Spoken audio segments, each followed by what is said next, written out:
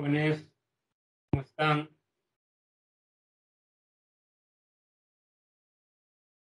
Si me confirman ello.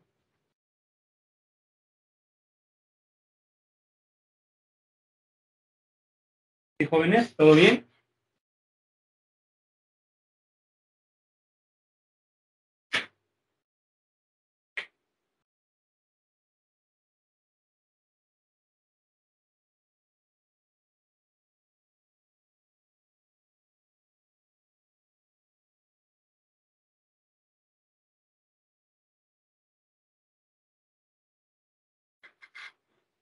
¿Todo bien, jóvenes? A ver, bueno.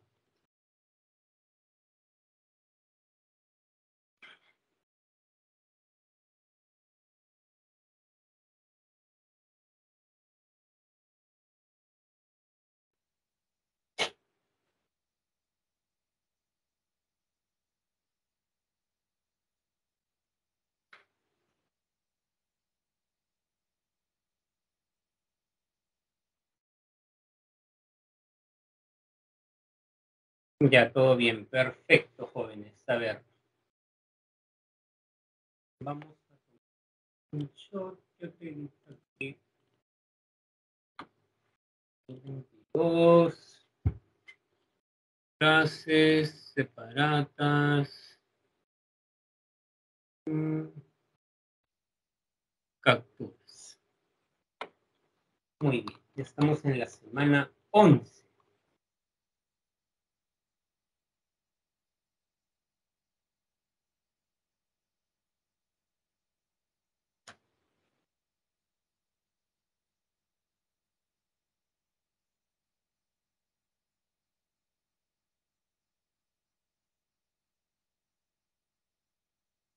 Es- nombres.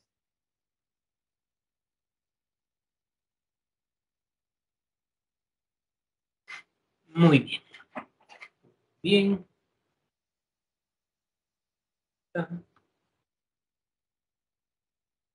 Vamos a comenzar la clase, jóvenes, leyendo la lectura de la semana pasada. ¿Leímos la semana pasada la lectura, jóvenes?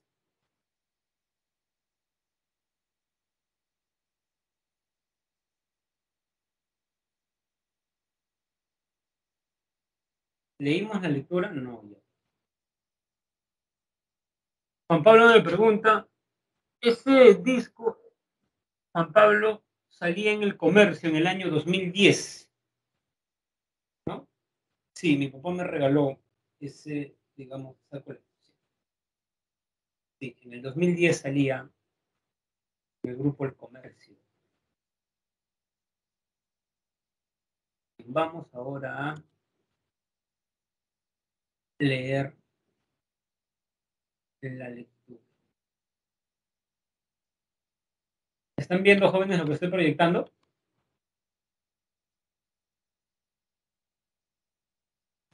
Sí, perfecto.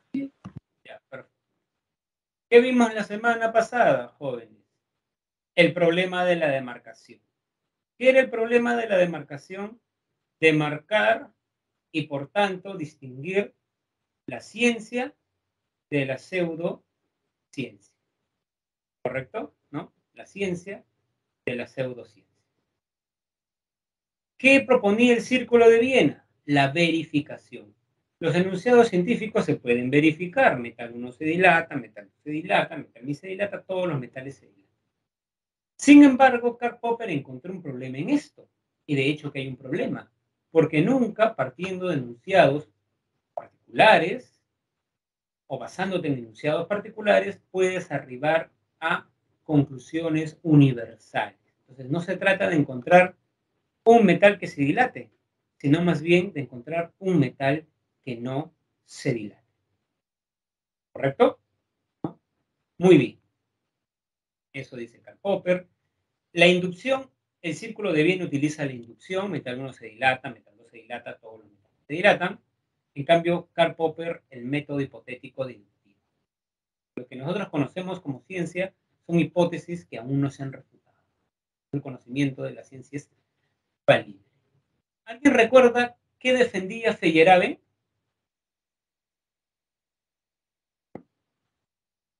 Anarquismo epistemológico. No existe método en la ciencia. Volvamos a nuestra... Todo es válido. Perdón, no lo escuché. Todo es válido para uh, Así ser, digamos, científico. Así es, Juan Pablo. Esa frase es fundamental. Todo es válido. Yo les expliqué en la semana 9 que supuestamente existía un método en la ciencia. A ver, ¿cuáles eran los pasos del método científico, jóvenes? ¿Lo recuerdan?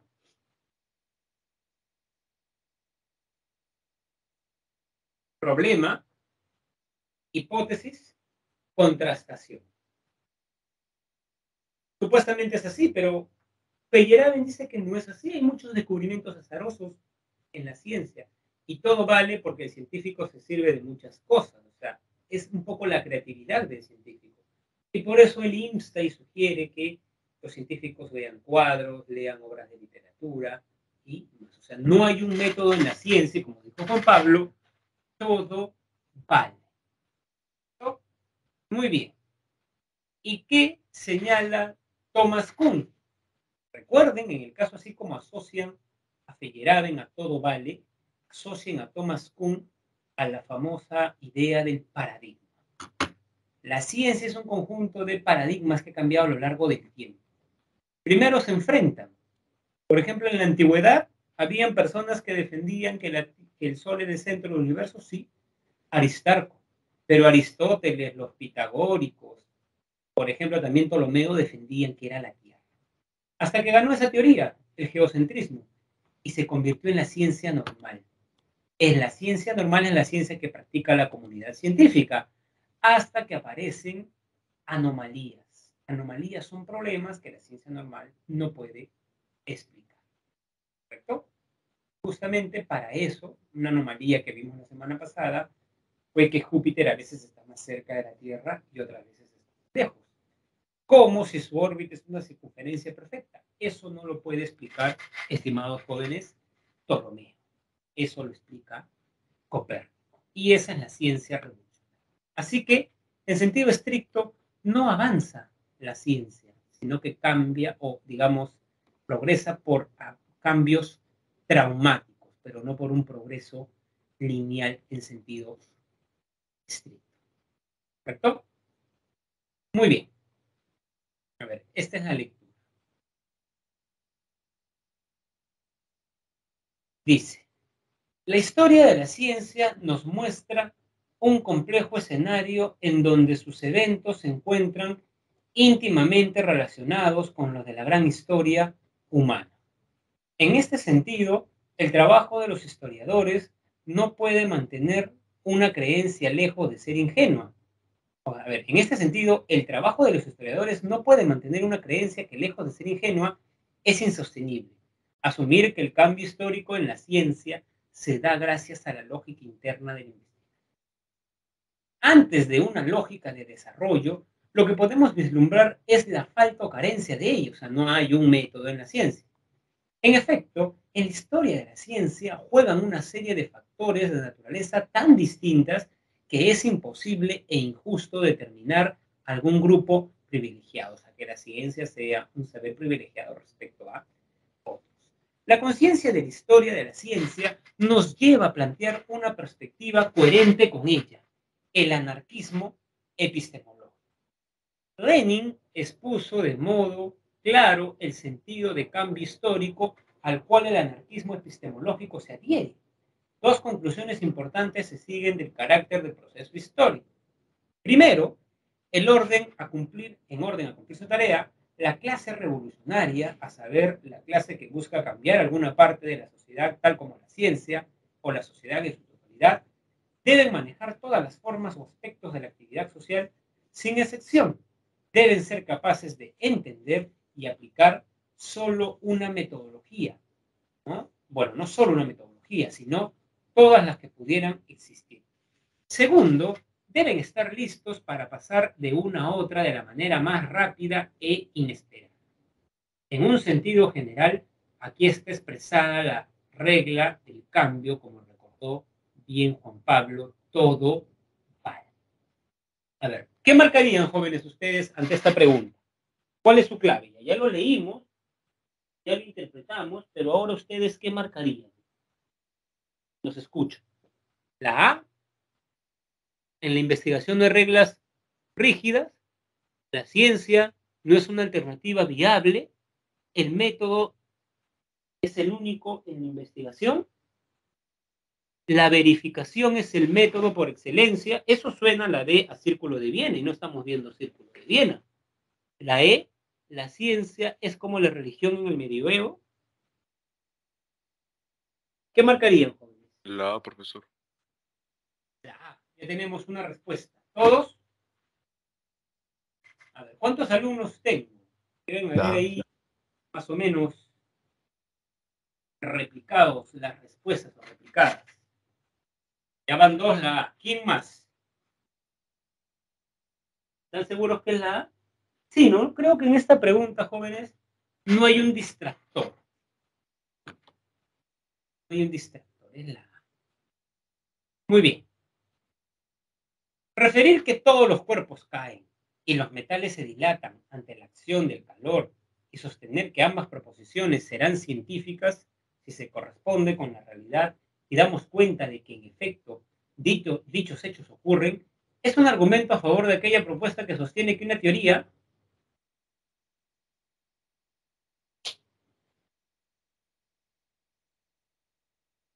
puede cambiar con el paso del tiempo debido a las anomalías, es científica si es susceptible de ser falsada, puede vincularse a la deducción como algo seguro a la ciencia, es científica si es verdadera a partir de los datos de la experiencia, puede cambiar con el paso de los años debido a los enigmas. ¿Cuál es su clave, jóvenes?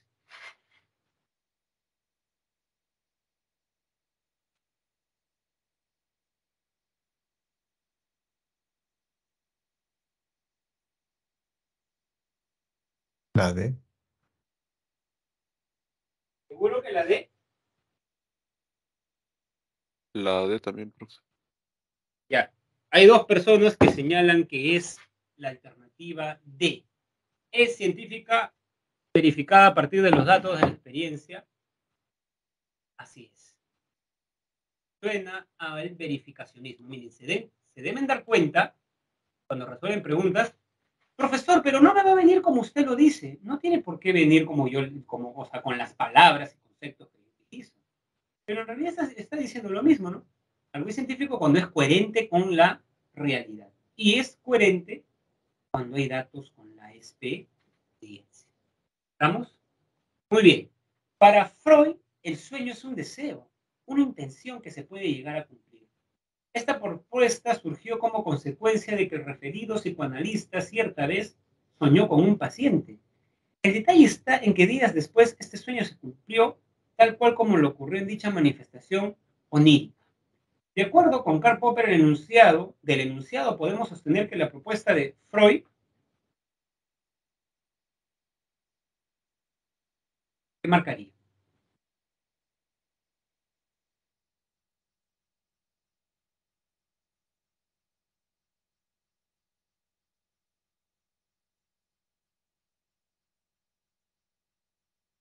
Vamos jóvenes, yo les enseño, pero ya las preguntas creo que son más pensando en ustedes, ¿no?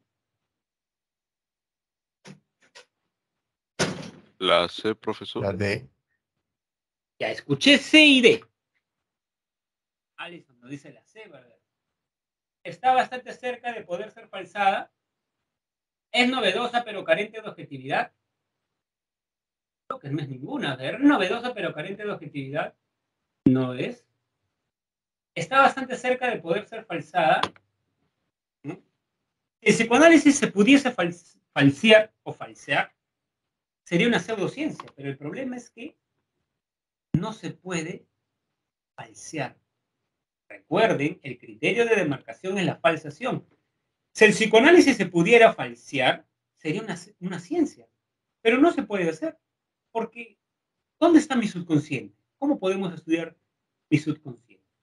¿Correcto? Recuerden que para Popper algo es científico si se puede refutar. y el marxismo, el psicoanálisis y la astrología no se pueden refutar, porque siempre te salen con argucias. No aceptan eso. Profesor. Tres. Dígame, dígame. Pero, digamos, si como dicen el enunciado, si Freud soñó con un paciente así, eh, no sabemos si realmente Freud te está diciendo la verdad. Entonces, ¿cómo así que puede ser falseado? Se supone que, digamos, esa proposición es verdadera, ¿o no? A ver, si fuera verdad, a ver, le, pongo un ejemplo para dejar de entenderme, ya Juan Pablo. Hay personas que dicen, ¿no? Oye, he soñado, eh, no sé, una vez leí en un libro de inglés, cuando, estudiaba inglés, que una persona soñaba que estaba sin zapatos, tenía mucho frío. Entonces lo que le dijo, a ver, pensemos que yo le cuento a un psicoanalista y el psicoanalista me dice, Eliazar, vas a terminar con tu pareja y vas a pasar un periodo de frialdad emocional, ¿no?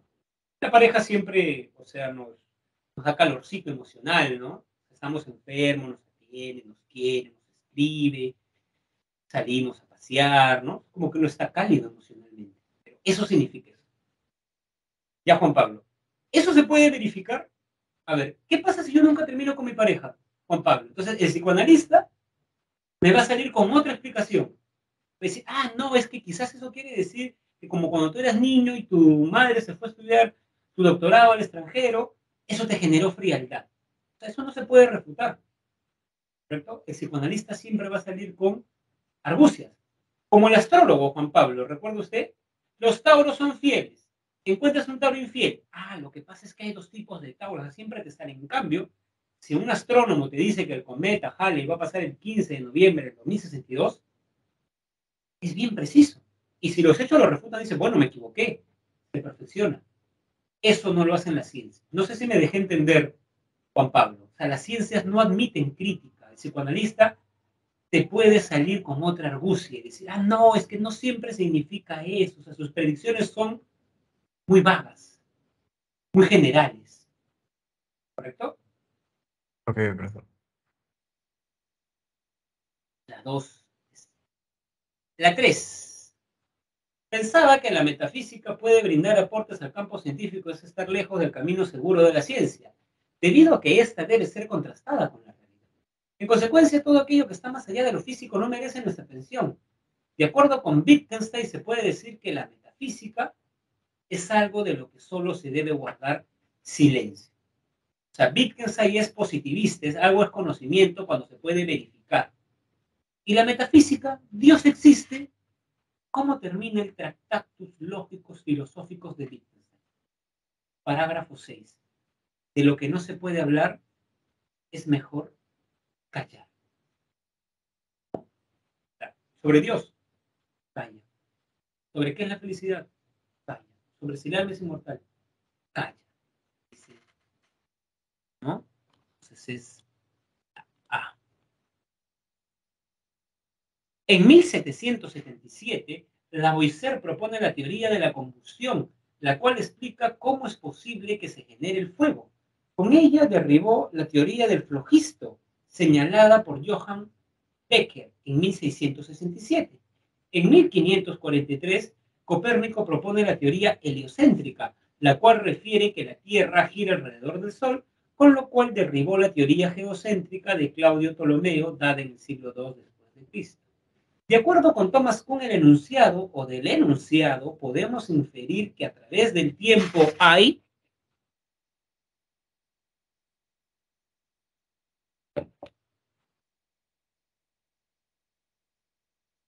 Quinta pregunta.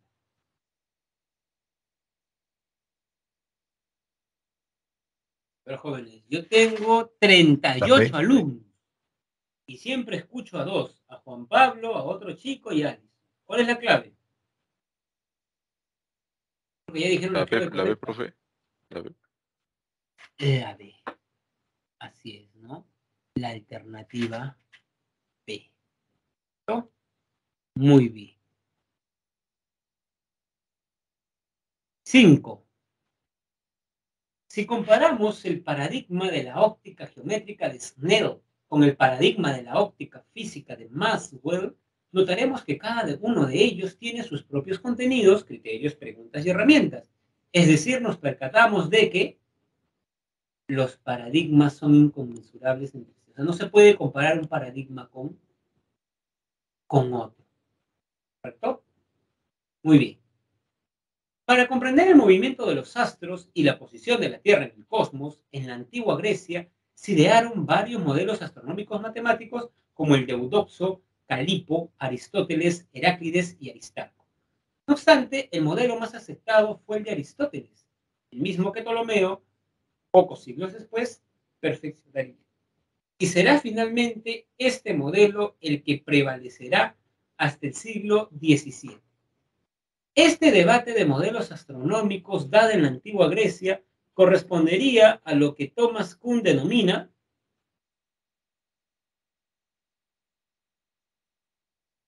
cuando dos modelos científicos debaten. Estamos en la fase precientífica. ¿Cierto? Cuando dos, a ver, volvamos a la teoría, cuando dos modelos debaten, estamos acá. Toda la Edad Media, jóvenes, que ganó Ptolomeo, estábamos acá, teoría geocéntrica.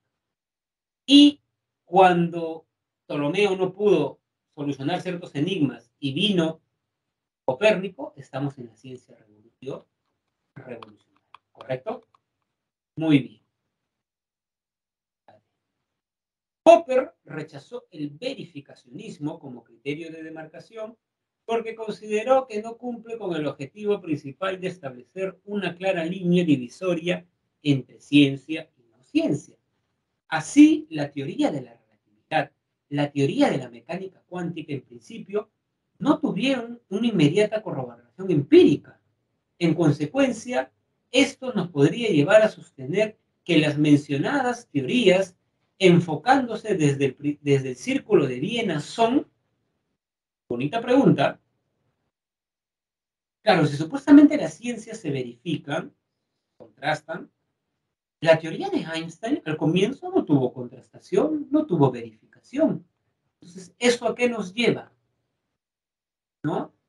A digamos a que son pseudociencias antes que ciencias. Si seguimos el criterio de demarcación de que la ciencia es tal si se verifica, la teoría de la relatividad al comienzo no se verificaba, entonces era una pseudo ciencia. Muy bien. 8. Algunas hierbas suelen producir variedad de sustancias químicas favorables para ciertas partes del cuerpo. Los herbolarios son conocidos por estudiar y utilizar las plantas con fines terapéuticos o medicinales. No obstante, lo que se discute es que estos no tienen métodos. Sin embargo, resuelven algunos problemas de salud como lo hacen los médicos. De acuerdo con Feyerabend, del enunciado se podría decir que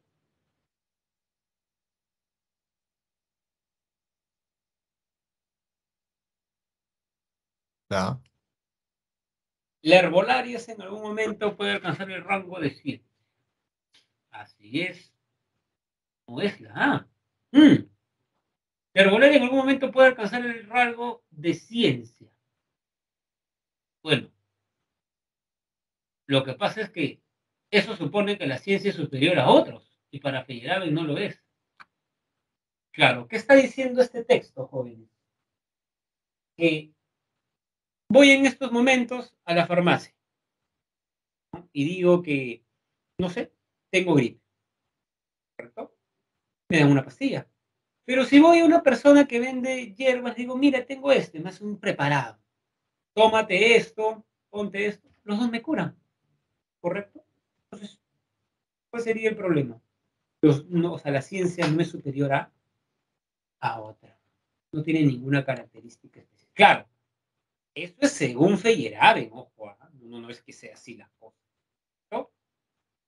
Muy bien, jóvenes nos vamos a la clase del día de hoy. ¿no? Resolví todas las preguntas porque sé que las preguntas, al menos de esa semana, entrañaban cierta complejidad.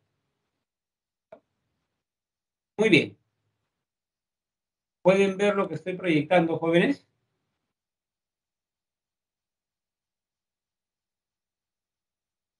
Sí. Se ve.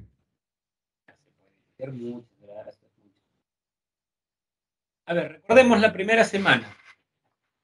¿Qué estudia, jóvenes? ¿Qué estudia la antropología filosófica? ¿Cuál es su objeto de estudio?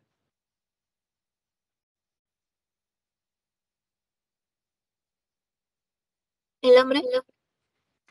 El hombre o el ser humano. ¿Correcto? Muy bien. Es la disciplina filosófica que tiene como objeto de estudio estudiar el ser humano en cuanto interpretado por sí mismo. Estudia la naturaleza. ¿Qué es el hombre? ¿Qué es el hombre? A ver, jóvenes, les pongo un ejemplo. En estos momentos, bueno, terminando sus clases a las 2, salen, digamos, a una avenida muy concurrida y ven, o sea, que un bus interprovincial viene a toda velocidad y que hay un niño y un perro. Y cada uno está a una distancia, o están opuestos, ustedes están acá, el niño está a dos metros y el perro está a dos metros. Así que ustedes tienen que decidir a quién salvar. ¿A quién salvarían, jóvenes? ¿Al niño o al perro?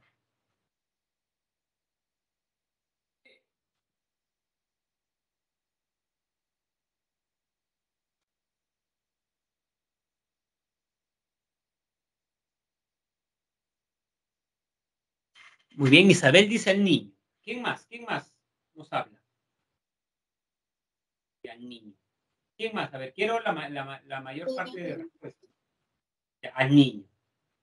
Profe, según las estadísticas, la mayoría sabería el niño. Ya, Kevin. Pero según usted, no importa acá las estadísticas. ¿No? No importa las estadísticas. Niño, quiero saber su opinión, señor Kevin. Profesor. Dígame. Disculpe, ¿podría repetir la pregunta? No me escuché. La pregunta es, si usted está en una calle muy concurrida, o sea, con una carretera, y los perros están pasando, y usted ve que un niño y un perro están en la pista y viene un bus a toda velocidad, o sea, va a morir, o un perro o un niño, pero usted tiene la oportunidad de salvar a uno de los dos. ¿A quién salvaría Juan Pablo? ¿El perro o al niño?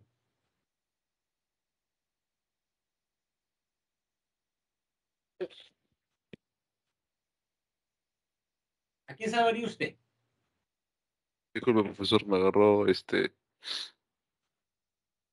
¿Me escucha, profe? Sí, sí te escucho, Kevin. Ah, ya. Este, no sé si escuchó que estaba sonrando. No, no, no, no lo escuché. Ah, ya, ok. Me... No, nada, profe. Disculpe en todo caso. Ya. Entonces, jóvenes, al niño, al niño. los alumnos que han respondido dicen al niño. ¿Y por qué salvarían al niño, jóvenes? ¿Por qué?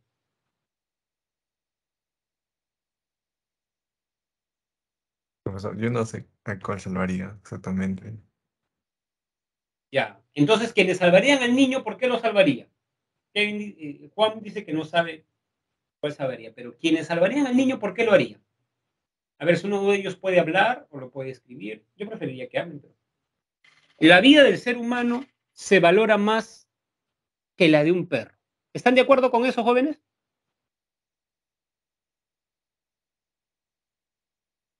¿Están de acuerdo con lo que dice Isabel? En lo personal, básicamente, porque la sociedad te juzgaría principalmente. En lo personal, en mi caso. Eso es cierto. Usualmente la vida del ser humano es superior. ¿No? Digamos, es la opinión más difundida. La pregunta es ¿por qué, jóvenes? ¿Qué tiene el ser humano que no tenga un animal? La capacidad de modificar el mundo, profe. La razón. De pensar, razonar, con sus ideas. Claro, esa es la esencia. ¿Qué tiene el hombre que no tenga humano? ¿Sí, Juan Pablo? Yo lo pensé, tal vez al perro. Ya, tal vez al perro, dice Juan Pablo, ¿no? Ya, muy bien, pero sabemos que la mayoría... Porque es un ser racional y más. Ya. A ver. A ver, jóvenes. Voy a proyectarles un video. A ver, les voy a hacer una pregunta. ¿No?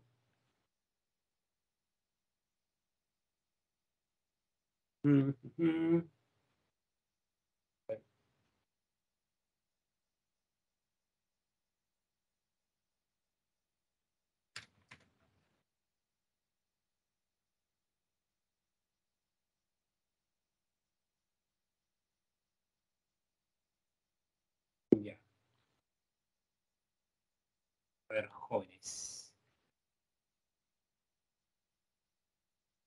Mm. Con sonido.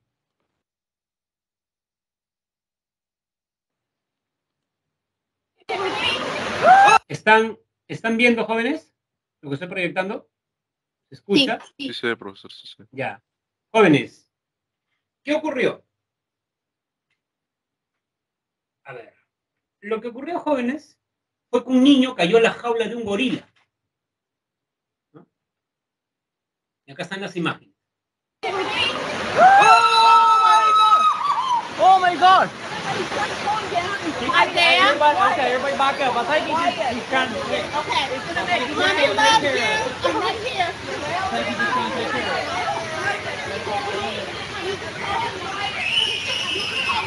Niño llora. My son fell into No, he's, he's playing with it. He's playing. He's playing with it. Please protect him. Isaiah, be calm. Be Good, calm. good. Be calm. Be calm. Oh my god! Thank goodness he was not badly hurt going in because he was walking in there and splashing around. But Harambe, our 17 year old gorilla male, who's a great big animal, 400 pounds, went down and got him, carried him up into the moat, was moving him around, and it, it seemed very much by our professional team, our dangerous animal response team, to be a life threatening situation.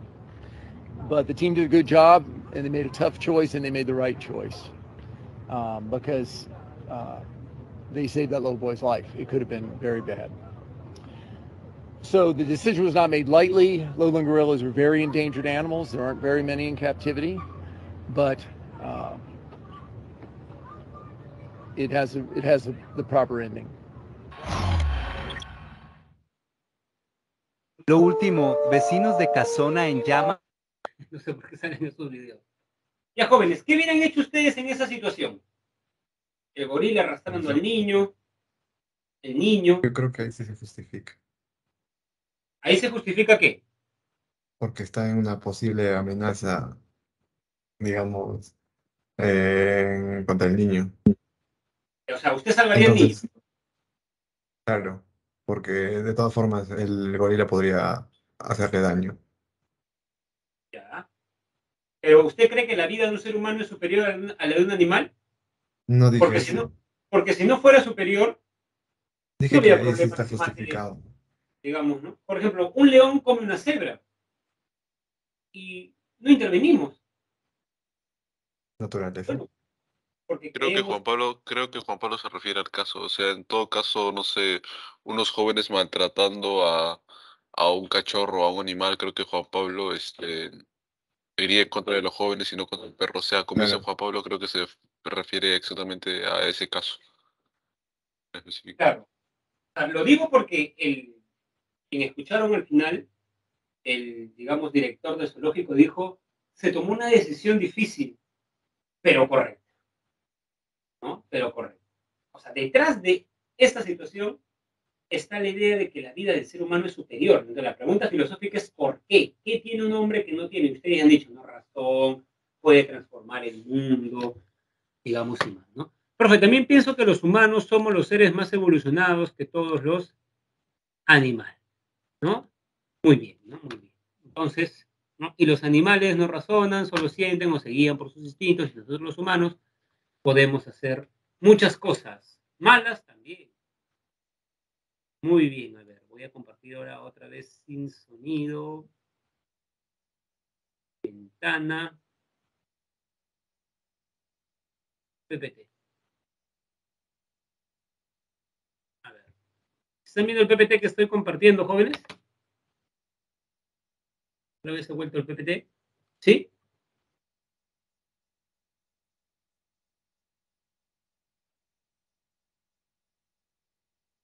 Sí, jóvenes, a ver, me confirman, por favor.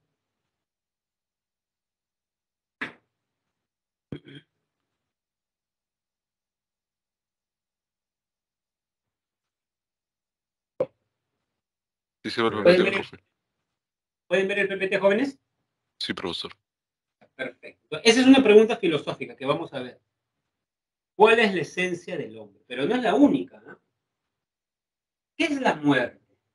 ¿Por qué debemos morir? ¿Cuál es el sentido de la vida? ¿Cuál es el origen del hombre? ¿Ustedes creen que el hombre, estimados jóvenes, evolucionó o que alguien lo creó, un ser superior? Esa es una pregunta filosófica. ¿De dónde viene el hombre? Un ser superior lo creó. Entonces, todas estas preguntas que hemos visto, jóvenes, son preguntas, ¿no? Digamos. Claro, lo que pasa, Kevin, es que no podrían ser ambas cosas, porque si tú lees la Biblia, cuando se describe a los primeros hombres, Adán, Adán no era un homínido, ¿no? Adán hablaba, por ejemplo. Porque Dios le dice, ponle nombre a los animales. Entonces, si no habla, ¿cómo le va a poner nombre? Así que el creacionismo dice que el hombre ha sido creado por Dios y que el hombre no ha cambiado. O sea, Adán hablaba, tenía nuestra masa cefálica. Adán camina erguido. Adán no es un homínido. ¿No? O ha evolucionado. Esa es una pregunta filosófica. ¿Correcto? ¿No? Muy bien, muy bien. ¿no? Los animales son más puros y lindos que el hombre. Bueno, hay personas que dicen, digamos, eh, eso, ¿no? Muy bien, muy bien. Sigamos. Sigamos, ¿no? Naturaleza humana. Por ejemplo, esta pregunta de cuál es la naturaleza humana. Primero veamos la respuesta. O digamos, ¿qué significa naturaleza esencia? ¿Correcto? Es lo propio del ser humano y que como tal lo diferencia y define de otras especies. ¿Correcto? O sea, vamos a, para hablar de esencia o naturaleza,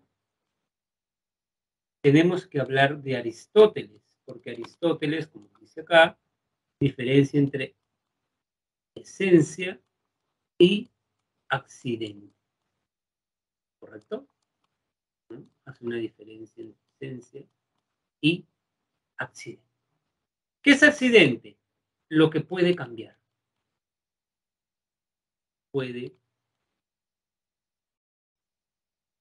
¿Y qué es esencia?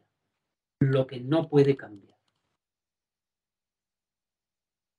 Muy bien. Pongamos un ejemplo, jóvenes. Un pupitre. Cuando van a dar sus exámenes de la pre, hay pupitres. Pregunta, jóvenes, si yo cambio el color de un pupitre, ¿sigue siendo un pupitre? A ver, jóvenes, ya estamos en otro tema. Ya de, yo, o sea, Sí, sí. estas, estas, gracias, Alison, estas situaciones que yo les pongo, jóvenes, no es para discutir las situaciones, sino es para llegar a la filosofía. ¿no? O sea, los- las situaciones yo las puedo variar, pero el tema no, ¿correcto? Entonces ya estamos ya discutiendo o viendo qué es el problema de la esencia. A ver, si yo cambio un pupitre, estimados jóvenes, de color, ¿sigue siendo un pupitre? Sí. Sí. Entonces el pupitre es el accidente. O el color es el accidente de un pupitre. Es algo que puede cambiar. ¿Correcto? Uno. Dos. Si a un pupitre que tiene cuatro patas le pongo dos patas más para reforzarlo, ¿sigue siendo un pupitre?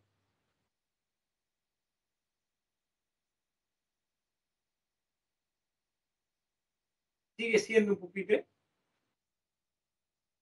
Sí. Entonces las patas no definen qué es un pupitre.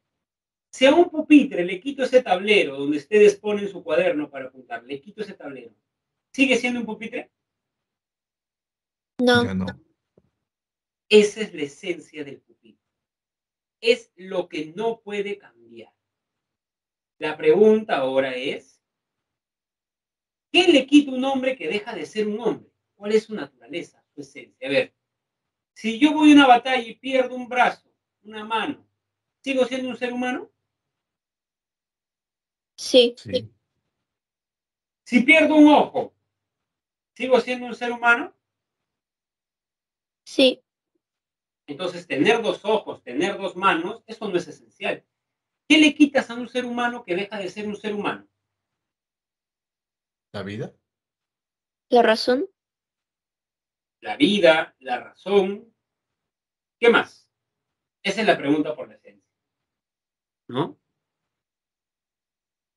¿Qué le quita a un ser humano que deja de ser un ser humano? Claro, la vida, ¿no? No, no me había puesto a pensar en esa respuesta. Claro, hay algo que tú le quitas al ser humano. Aunque, a ver, para quienes respondieron la vida, cuando una persona está en coma, ¿sigue siendo una persona? Sí. Porque algunos dicen, ¿no? Que es la conciencia.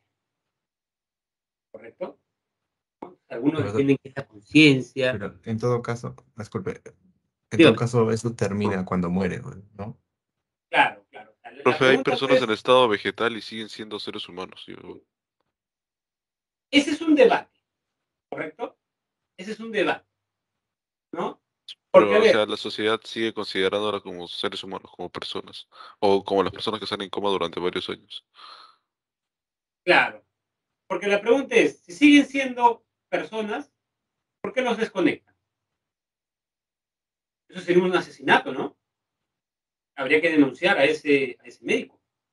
Porque la eutanasia no está permitida en el Perú. Es que ahí hay un problema filosófico, ¿no? ¿Correcto? A ver, ahora, la sociedad no siempre se hace problemas filosóficos, ¿ah? Y no, no, no está mal, ¿no? Uno no anda filosofando todo el día, ¿no? Pero ya nosotros desde un curso de filosofía diríamos, ¿es un ser humano? ¿Es un ser humano? Por ejemplo, un feto, ¿es un ser humano? Profesor, la mayoría de la sociedad considera que sí, pero ese es un debate filosófico, ¿no? Porque hay mujeres que abortan, ¿no? Y dicen que el feto no es un ser humano. ¿Correcto? Y hay países donde el aborto está legalizado, que quiere decir que un ser humano no es un feto. Dígame. Algunos dicen que no se puede abortar porque básicamente ese cuerpo ya no es tuyo. Porque ese cuerpo ya no tiene, o sea, no tiene como que tu mismo ADN. Es una combinación de, de otros factores que ya no forman parte de tu, de tu propio cuerpo. Entonces no puedes este, matar a, a alguien que no forma parte de tu, ¿cómo decirlo? De tu, de tu ser, por así decirlo. O sea, no forma parte de tu cuerpo, es un ser aparte. Es cierto, es cierto. Ese es un argumento, pero eso supone que definamos a un ser humano como, digamos, un microorganismo que tiene un ADN propio.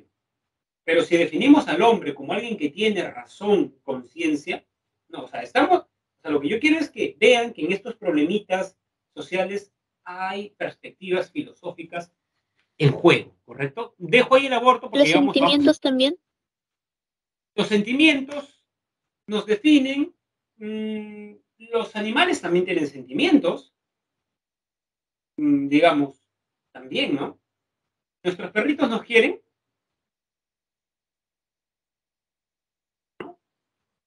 Mi perrito nunca me engañó como mi ex.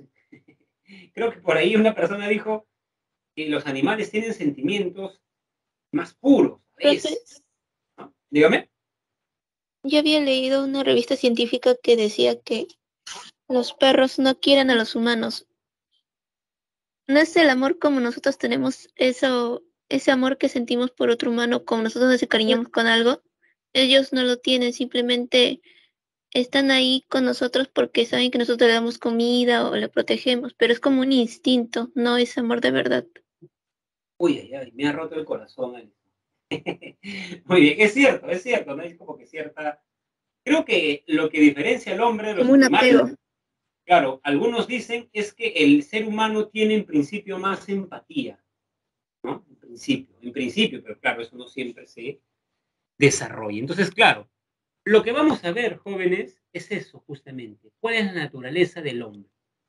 ¿Correcto? Hay seres humanos que no desarrollan empatía, empatía de manera natural. Creo que son los psicópatas que carecen de empatía, si no me equivoco. Sí, eso O es sea, es cierto. ellos- algo, algo médico, o sea, es- no es, no es este, o sea, no sé si me entiende. Sí, sí te entiendo, porque Es algo que nace con ello. tienen, problemas en las neuronas reflejo. Y las neuronas reflejo son las encargadas de las empatías. Claro, ¿no? o sea, esas personas matan y se van a dormir, o sea, hacen su vida como si nada. Es como cuando uno piensa una cucaracha, ¿no? No siente remordimiento, ¿no? Sigue con su vida. Igual, esa Para mí eso no es humano. Ya, por ejemplo, es un ser humano, por ejemplo, sigue No. siendo un ser humano, Alison, porque esas personas, por ejemplo, están en un estado de derecho, tienen abogados que los defiendan, ¿correcto? Correcto. O sea, Sí, profe, que pero yo lo También, veo profe, como así No todos no, los, no no todos los psicópatas son asesinos. Hay psicópatas que están medicados justamente por eso. Porque se sabe Sí. que desde chicos que tienen ese problema en su cerebro. hay O una sea, no todos los, no todos los Sí. psicópatas son asesinos seriales, por así decirlo. Claro, es cierto, es cierto. Hay una serie incluso, Dexter, que trata sobre eso, ¿no? A mí, bueno, no la he visto porque no está en las plataformas que, que tengo, pero sí, ¿no? Es una persona que, digamos, ¿no? Tiene esa tendencia y su papá hace que sea un investigador, ¿no?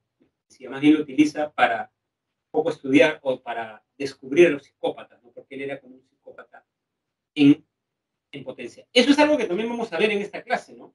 Una cosa es tener la capacidad de algo y otra cosa es ejercer esa capacidad. El hombre tiene la capacidad de dominar sus instintos, sí, pero muchas veces no lo hace. Un violador no lo hace, por ejemplo. ¿No? Pero deja de ser un ser humano. Para el derecho no. Para el derecho no. Para el derecho no. Que si, si, si, digamos, dejaría de ser un ser humano, habría que matarlo, pues, ¿no? Porque no tiene derechos. ¿Correcto? Bueno, hacen eso, ¿no? Entonces ya. Creo que ya entendimos claramente qué estamos discutiendo y lo problemático además del asunto. Es problemático, pues la filosofía es problemática. O sea, ¿qué quiere decir eso? Que no hay respuestas universales. Profesor, pero los psicólogos, no en filosofía no hay respuestas universales. No, no es como que la suma de los ángulos internos de un triángulo es 180 grados. Y, y a ver, ¿quién dice no, es 184?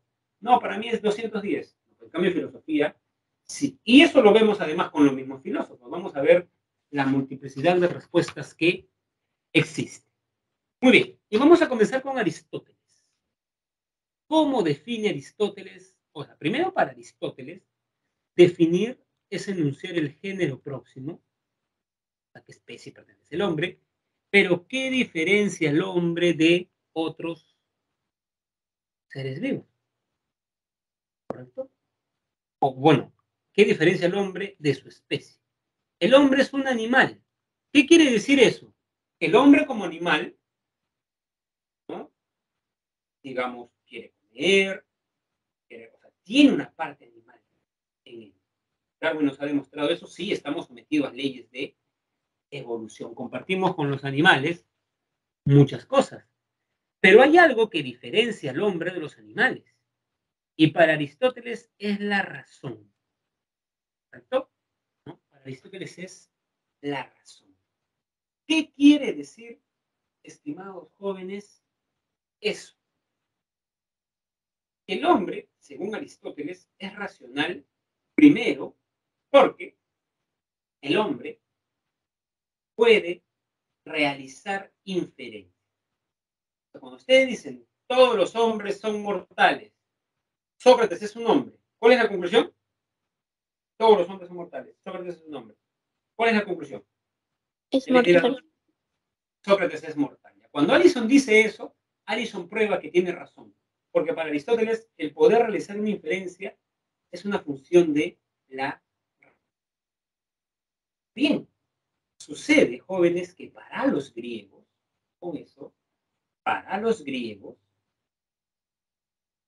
eh, la razón es logos. Y logos, en griego, no solamente es razón, también es lenguaje.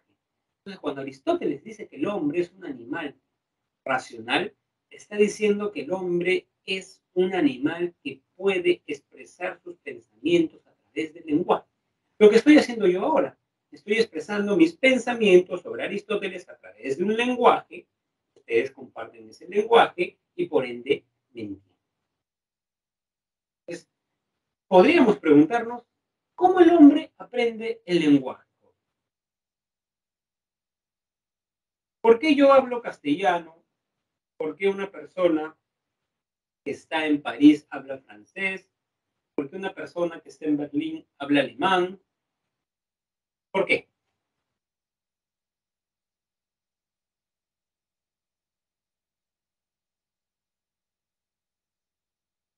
¿Por qué no hablamos el mismo lenguaje, todos? Sería idioma en todo caso, profe, porque el, eh, todo ser humano nace independientemente con lenguaje. Si todo humano nace con lenguaje, estimado. O sea, sería idioma, quiero decir. Claro. Si toda persona nace con lenguaje, ¿por qué si dejamos a un niño de cuatro años en un paraje de la selva peruana, volvemos y él no se expresa con un lenguaje? Sí, pero se comunicaría con gestos o con movimientos y eso también significa, o sea, eso también es lenguaje. El lenguaje no Claro. solo es hablado o escrito. O sea, en todo caso sería idioma Sí. para que se haga más entendido. Es cierto, lo que usted dice, claro, lo que usted dice es cierto. Los griegos entendían por lenguaje el lenguaje articulado, es un sentido más, ¿no? Creo que contemporáneo. Creo que actualmente se entiende, y eso es lo importante de los conceptos, ¿no? A veces cambia. Comunicación y lenguaje. ¿Los animales tienen lenguaje? Creo que no. ¿Se comunican? Sí. Los monos se comunican, los perros entre ellos. Bien, muestran sus dientes, ¿no? eh, mueven la cola. Entonces, claro, entendamos lenguaje como expresar nuestros pensamientos en un sistema simbólico que otras personas. Entonces, lo que dice Aristóteles, estimados jóvenes, es que, claro, el hombre tiene esa potencia, pero realiza eso en una sociedad. En todo caso, podríamos, como dice su compañero Kevin, cambiar esto y decir, a ver, nosotros aprendemos idiomas porque es una práctica social. ¿Qué quiere decir eso? Por más que tengamos la potencia, digamos, de comunicarnos, tenemos el, digamos, ¿no? Desarrollado, ¿cierto? Si nosotros nos dejan solo en una isla a los cinco años y volvemos, esa persona no hablaría español, así sus hijos sean españoles. ¿Correcto? Los padres franceses dejan en una isla un niño. ¿Él hablaría francés cuando vuelve? No. Y hay, hay ejemplos de personas que se han perdido así. Lo, lo más conocido es Tarzán, ¿no? Que fue una novela. Tarzán no articula el lenguaje. ¿Correcto? O sea, no es que, cuidado, ¿ah? No es que nosotros esencialmente seamos animales lingüísticos. Aprendemos a expresarnos en una sociedad. Profe, Sígame, Alison. también hay una cierta edad en la que el humano puede desarrollar el lenguaje. Ya pasada esa edad ya no puede. Claro. Hasta los tres años creo que es. Sí, de, de luego de tres años para adelante se le va a complicar y es posible que no pueda hablar. Claro, según Piaget. ¿no? Digamos, es como que ese es el punto, ¿no? En el cual como que el niño debe hablar, ¿no? Incluso cuando el niño tiene cierta edad y no habla, le envían terapia de lenguaje. Creo que Juan Pablo quiere decir algo. Profesor, yo había entendido algo así en la clase de eh, lenguaje, eh, que era en cierta forma universal. Es como que es innato en cada, un- en cada, um, en cada persona. Eh, y pensando de esa forma, digamos, asociándolo a un ejemplo sencillo, es como un músculo. Si lo ejercitas, eh, se desarrolla, pero si no, se puede hasta atrofiar. Entonces, en el caso de, por ejemplo, Tarzán, que, mm, digamos, no tiene contacto con personas, no está hablando en el mismo código, eh, No es de la misma forma que una persona en sociedad desarrolla, eh, digamos, el habla. O sea, lo que quiere decir Juan Pablo es que Tarzán sí tenía lenguaje, pero no tenía la lengua, que es diferente, porque todo ser humano, según lo que tenemos entendido, nace con lenguaje de manera innata y el lenguaje es universal en todo ser humano. Lo que es social y psíquica es la lengua. La lengua sí tiene que ser aprendida, porque hay un límite de edad también para aprender la lengua, según lo que dijo una compañera. Sí, a ver, les voy a explicar esto. No quería entrar a estas sutilezas porque no sé si viene al caso esta etapa de su formación, pero veo que sí. A ver, Aristóteles hace una diferencia entre potencia y acto. ¿Correcto? ¿Qué es la potencia? Lo que algo puede llegar a ser. Una semilla, ¿qué puede llegar a ser, jóvenes? Una semilla de árbol Una de pino planta.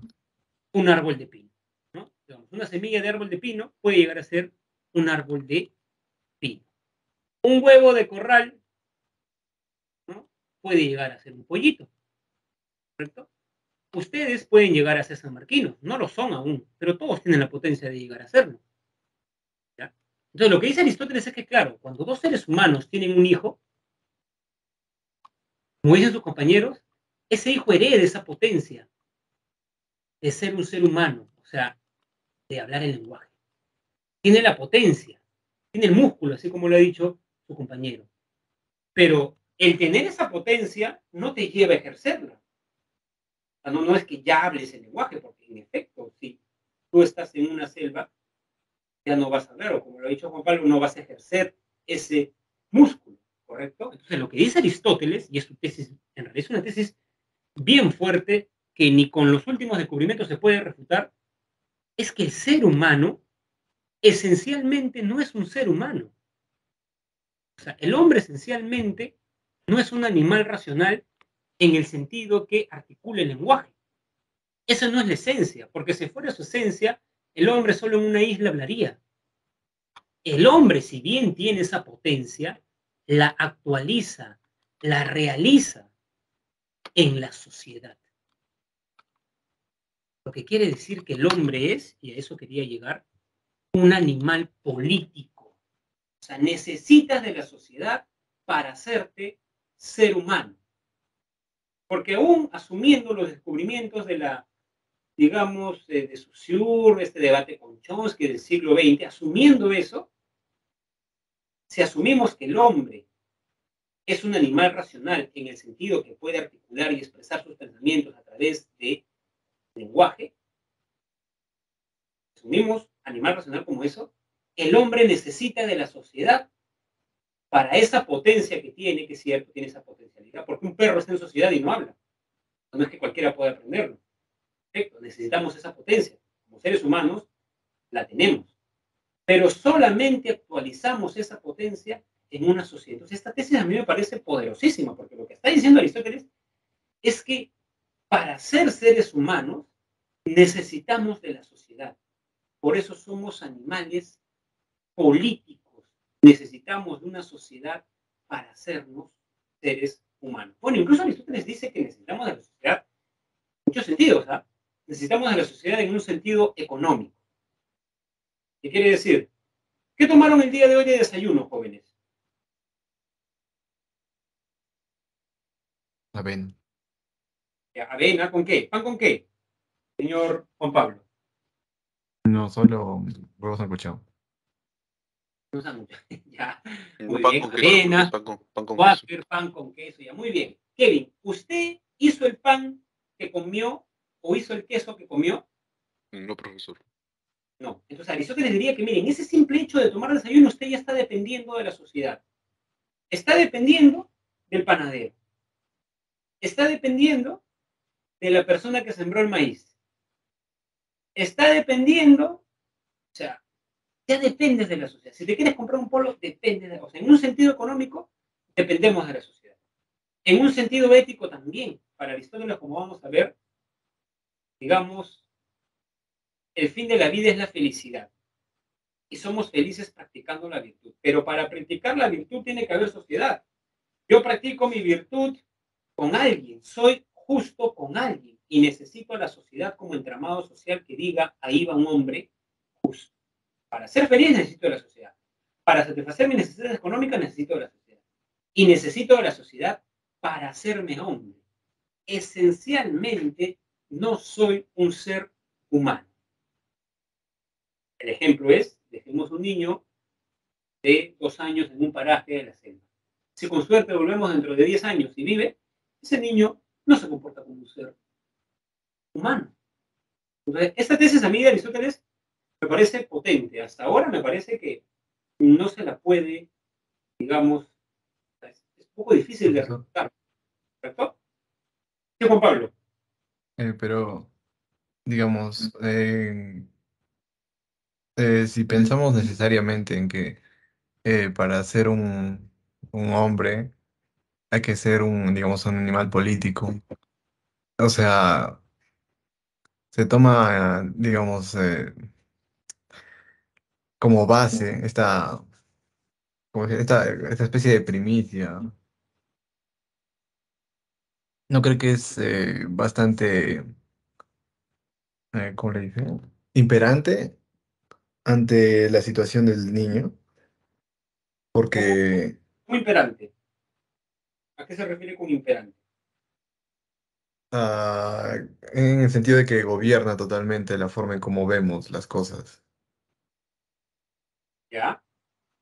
O sea, después de tener presente este principio, digamos, eh, aristotélico, por así decirlo, no se puede ver de la misma forma a otros. ¿No sería un problema de cómo vemos la situación en base a este principio? Claro. Bueno, en todo caso, es una tesis filosófica, ¿no? Lo que pasa, Juan Pablo, es que lo que usted dice se aplica para todo. Usted ha nacido en una sociedad que lo hace ver Claro. las cosas de determinada forma. Sus padres le han enseñado a ver la vida de determinada forma. Le han enseñado que quizás es cristiano, que debe primero casarse y luego iniciar su vida sexual. A las mujeres, por ejemplo, les han enseñado que cuando van a la piscina deben ponerse bikini. Eso en el mundo musulmán está mal. Un- Una mujer no puede mostrar su cuerpo, por eso existe el burkini. Lo que le estoy diciendo es que no existe hombre sin sociedad. Eso es imposible. El hombre sin sociedad no hablaría primero. En un hombre, Pero, ¿qué vidas tendría? O sea, el hombre solo, en una isla, tipo Robinson Crusoe, es una ficción para Aristóteles.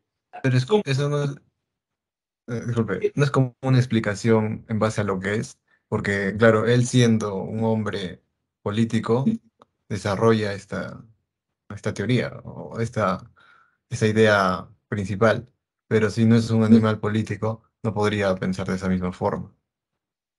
Lo que pasa es que si fuera un animal político no podría pensar, porque pensar supone razonar y expresar nuestros pensamientos. ¿Podría una persona expresar sus pensamientos en un lenguaje si no fuera social? Realmente no. Claro, realmente no. Por, por eso yo, yo al menos veo, por lo que no, que la tesis de Aristóteles es muy fuerte. ¿no? O sea, necesitamos de la sociedad para hacernos seres humanos. O sea, es duro aceptar esto porque lo que te está diciendo Aristóteles es que esencialmente no eres un ser humano. Necesitas de la sociedad para ser un ser humano. ¿Correcto? Ah, Ahora alguien podría decir, profesor, pero un perro está en la sociedad y no es un ser humano. Porque el perro no tiene potencia ser un ser humano. Si dos seres humanos tienen un niño, ese niño sí tiene la potencia. Pero lo que dice Aristóteles es que él realiza esa potencia en una sociedad. Y por eso dice, ¿no? Solo un Dios o un idiota puede creer que no necesita de la sociedad, porque el hombre es un ser social, y acá viene su famosa frase, por naturaleza. ¿Correcto? Muy bien. Entonces, el ejemplo de que pudo Tarzán al no estar en contacto con los humanos y solo estaba con los animales y en la selva, no se lo considera, digamos, ser humano. Claro, lo que pasa es que lo de Tarzán, digamos, Tarzán no articulaba el lenguaje, no se comportaba de manera civilizada, y además que Tarzán se pierde a los 7, 8 años, ¿no? no se pierde cuando tenía 2. ¿no? Entonces, sí, yo utilicé esto de Tarzán como un recurso, digamos, eh, didáctico, ¿no? Porque, a ver, en sentido estricto alguien me podría decir, ¿han visto, el- han visto el- el- la película El libro de la selva?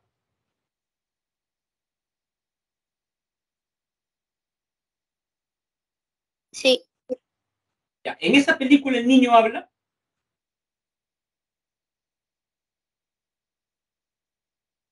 eh, la película, bueno, yo he visto una que sí hablaba el niño. claro, Profesor, Habla ¿en el de. Disney o cuál, profe? Porque he visto dos películas y en las dos ha hablado. En todo caso, si está basado en el libro, quizá no hable, profe. claro. Pero, no, yo me refería a la película, en las dos habla. Alguien podría decir, Sí, profesor, profesor, pero en el libro de la selva el niño habla. Los animales también hablan en el libro de la selva, ¿no? O sea, claro, los ejemplos siempre tienen sus límites, pues, ¿no? O sea, ¿no? Digamos, en estos ejemplitos de Tarzán, y esto es un poco para que se entienda, ¿no? Muy Son bien, niños ferales, profe. O sea, criados entre animales. claro. Hay, hay, por ejemplo, Niños ferales. ¿no? Allison dice, profesor, ¿y las personas que son asociales o les gusta estar solos? Ya, a ver, le gusta estar solo en su cuarto, pero no creo que le guste estar solo y se vaya a una isla. A ver, una persona social, ¿por qué no se va a una isla a vivir solo? ¿O usted se refiere, Allison, a las personas solas con su celular? Porque el estar solo con el celular no es estar solo, ¿no? ¿En qué está? En sus redes No, sociales. profe.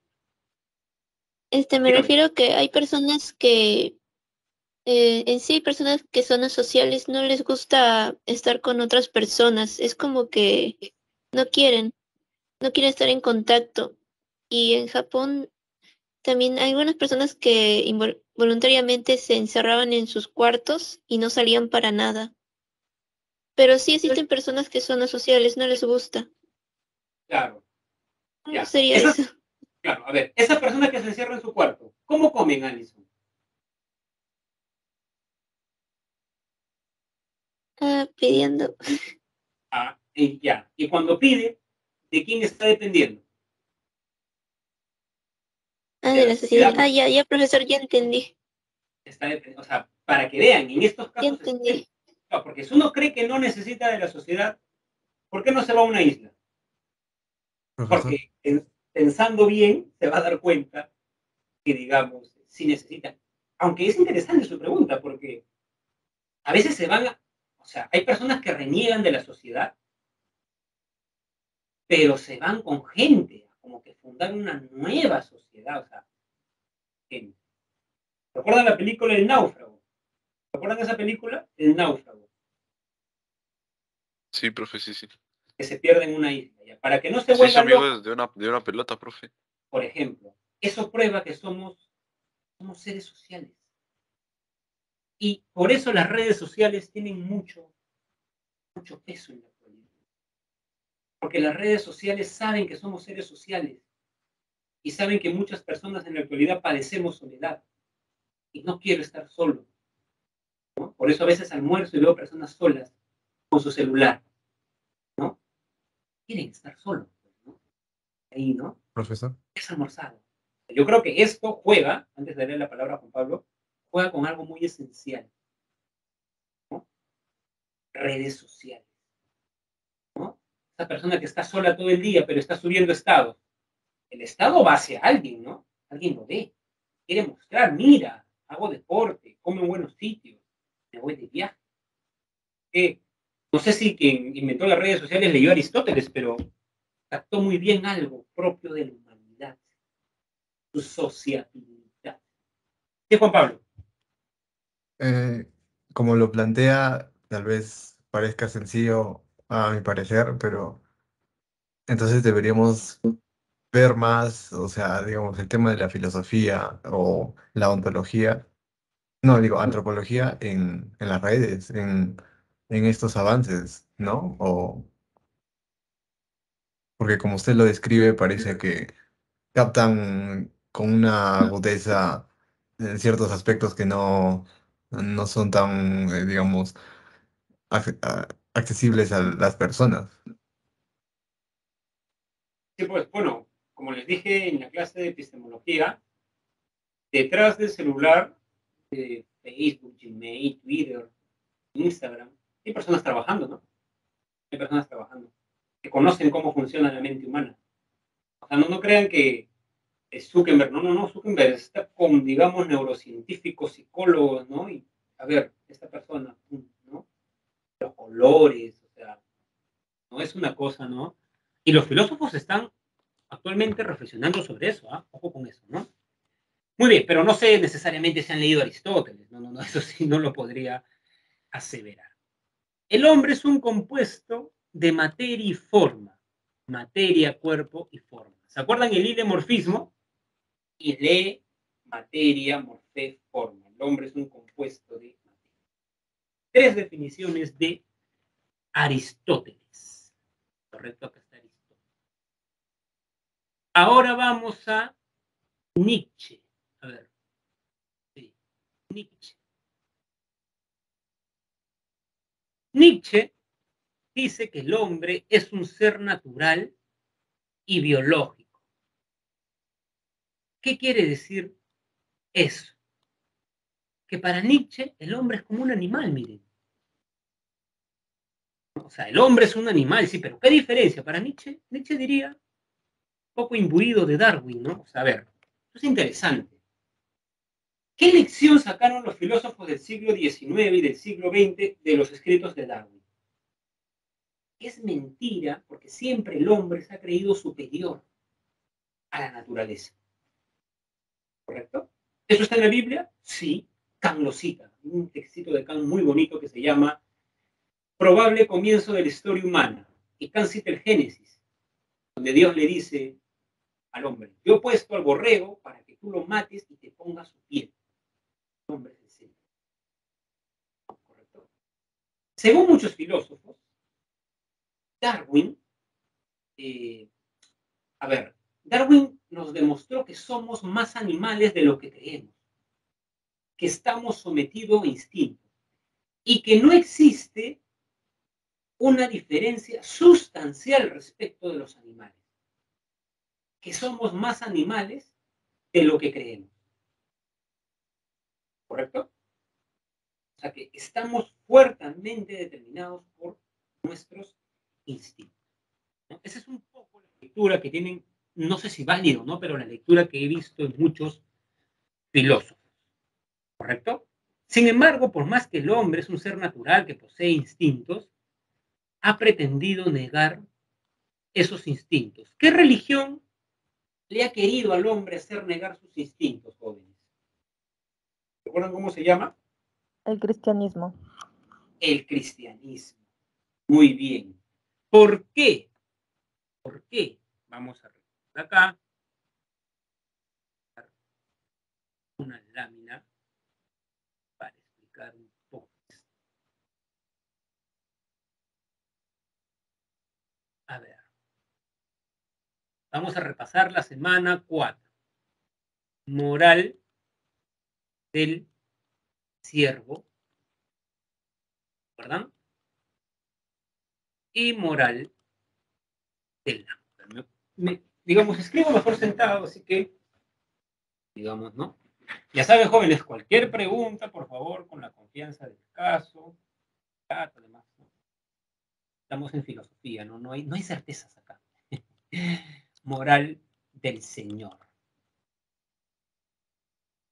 Muy bien. Moral del siervo, moral del Señor. El cristianismo, ¿qué nos ha hecho creer? Que somos almas. El cristianismo niega el cuerpo y niega la sexualidad. Mente sucia, cochina. No se le debe enseñar a los niños eso. Silencio, de esos temas no se hablan. ¿Correcto? es cristiano. Uno. Dos, todos somos iguales. Y tres, debemos ser compasivos. Nietzsche dice, ¿suena bien? Sí, digamos, suena bien. Suena bien. Pero ahora hay que ver si eso se condice con los estudios de etología, que estudian la parte animalesca del hombre. Siempre has hablado del hombre como si fuera un alma, pero el hombre también tiene un ¿Y qué ha demostrado Darwin? Que somos cuerpo. ¿Cuáles son los dos instintos básicos? Autoconservación. Por eso yo quiero mi cuerpo. Tomo agua, como bien, corte, dormimos nuestras horas, queremos nuestro cuerpo. no queremos dejar de ser. Profesores, los suicidas, es cierto, hay gente que se quiere suicidar, pero eso no es, digamos, usual, ¿no? Si ustedes ven la tasa de personas que se suicidan, no, no, es pues la mayor pausa, no es que el 50% de la población se, suicide, ¿no? Muy bien, queremos autoconservarnos. Y la conservación de la especie. Es decir, el cristianismo niega la sexualidad. Si deseas a alguien con el pensamiento, ya estás pecando. A ver, alce la mano, que lance la primera piedra, a ver, aquel o aquella que nunca ha deseado a nadie con el pensamiento. Profesor, ¿en qué sentido se entiende eso? Desear a una persona. Imaginarte que le das un beso, te abraza y tres puntos suspensivos. Ok, ya entiendo, ya entiendo. A ver. Alguien en el salón puede hacer la mano y decir que nunca ha deseado a nadie. El cristianismo pide eso. Lo que está haciendo Nietzsche es, hay que ver si el cristianismo nos está pidiendo cosas que no, que, o sea, cosas que podemos cumplir. ¿Correcto? ¿No? Digamos. Cosas inverosímiles. Claro, por eso Nietzsche un poco va a decir, a ver, el cristianismo, vamos a ver si se puede cumplir. ¿Por qué es un pecado desear a alguien? A ver, porque si tú vas a ver una película y te parece eh, guapa Scarlett Johansson y sueñas que le estás dando un beso, que estás caminando por el jirón de la unión con Scarlett Johansson, estás pecando porque estás deseando a la mujer de tu prójimo. Creo que ya, me parece, bueno, debe estar casada, ¿no? O alguna vez habrá casado, ¿no? Ah, ya entendí. Claro, entonces se dan cuenta, o sea, eso prueba que el cristianismo, o sea, jóvenes, conservación de la especie es un instinto. Para eso, para eso, nosotros debemos buscar una persona del otro sexo, en la misma especie, y mediante relaciones sexuales, y ese instinto. O sea, es una cuestión instintiva, o sea, tú ni siquiera te das cuenta. Un amigo psicólogo que le gustaba leer mucho sobre esto que estamos conversando me decía, me recomendó, por ahí tengo el PDF, no, no lo he leído, siendo sincero, ya con, con todo lo que tengo que leer de filosofía, ya mi agenda de acá 20 años está cubierta en lecturas, pero digamos, este amigo me comentó que en la mayoría de culturas hay una forma, digamos, de las mujeres que le gustan a los hombres de diferentes culturas. ¿ah? Usualmente las mujeres tienen caderas amplias. Caderas amplias. ¿no? ¿Por qué? Eso es evolutivo. Porque por evolución, nosotros creemos que la mujer, digamos, con caderas amplias es como que es fértil. Tiene un útero amplio. Segundo, que las mujeres en las caderas y, digamos, en la zona posterior tienen una proteína que le sirve mucho al feto en sus primeros meses de formación. Entonces, evolutivamente, ¿no? Acá en el Perú a veces yo escuchaba que decían, ¿no? Las venezolanas y esto, o sea, eso no es que al peruano, le, que porque es peruano le gusta la mujer, ¿no? Digamos, o sea, eso es una cuestión usualmente evolutiva. Entonces, claro que uno, a ver, esto no estoy diciendo que somos, bueno, para Nietzsche sí, no, pero yo no creo eso, ¿no? Uno puede estar pues en una fiesta y ve a una persona con estas características y baila con ella y eso no quiere decir que vas a tener el instinto, sí, ¿no? Claro, uno no puede dominar y decir, oye, yo tengo pareja, ¿no? No, no bailar, pero nada más. pero es una cuestión evolutiva. Incluso este amigo me decía que los hombres, los varones, tienen un sentido, ¿no? Para detectar cuando una mujer está ovulando o está, digamos, guaje ya más animalesco, dispuesta. Tú ni eres consciente de eso. Ahí es química pura, ¿no? química pura. ¿Correcto? ¿No? Y por eso es algo como que te lleva, pues como una fuerza que te jala. Y claro que uno puede nadar en contra de la corriente, ¿no? Sí, a mí me gusta nadar en contra de la corriente, jóvenes, ¿no? En el río sí es muy desgastante, pero sí, ¿no? Uno puede, pero Y claro, y además que todos acá hemos recibido una educación cristiana, ¿no? ¿No? Hemos recibido una educación cristiana. Sí, ¿no? la mayoría. ¿no? Entonces, como educación cristiana que hemos recibido, jóvenes, ¿no? Tenemos valores cristianos. Decimos no, la monogamia, zona, ¿correcto? ¿No? ¿Se dan cuenta? Nietzsche dice primero, el cristianismo niega la sexualidad y la sexualidad fue, es y ha sido una fuerza muy potente en la humanidad. Yo que sí. Es una fuerza muy potente en la humanidad. ¿No? Y el mundo digital también ha explotado eso, ¿no? O sea, no voy a decir más, ¿no? También. O sea, no hay nada nuevo, jóvenes, no hay nada nuevo. No hay nada nuevo. Muy bien, somos iguales, mentira. Hay personas que son mejores que otras. Hay jerarquías. ¿Hay un león más fuerte que otros o no? ¿Qué dice? Profesor, ¿cómo se llama el libro? El libro se llama, creo, Historia del Deseo. o algo así. Es un libro, creo que tiene 600 páginas, ¿no? Que ve muy bien por qué el deseo es tan potente. Y ya con etólogos en el siglo XIX y XX, ¿no? Pero explica por qué el deseo ha sido tan potente en la humanidad. ¿no? Sí, no- algo así, ¿no? Como que historia del deseo. No recuerdo perfectamente eh, el título. ¿no? Entonces, jóvenes, el instinto es más normal en animales. Sí, eso es cierto, Kevin. Eso es cierto. Yo estoy de acuerdo con usted. Recuerda que estamos explicando Nietzsche. ¿ah? No, no estoy explicando lo que yo creo de la vida, ¿no? Así que, Nietzsche. Jerarquía. ¿Hay un león más fuerte que otro? Sí, ¿Por qué, se sí. por qué se enfrentan los leones, jóvenes? ¿Por el atardecer, por el agua o por las hembras? Por las hembras. Las hembras. Ley de la supervivencia. Más fuerte. En cambio, Nietzsche dice, en la sociedad todos se reproducen, el fuerte y el debilucho. Eso va en contra de la ley de la selección natural. Por eso dice Nietzsche, primer principio de nuestra moral, muerte a los débiles.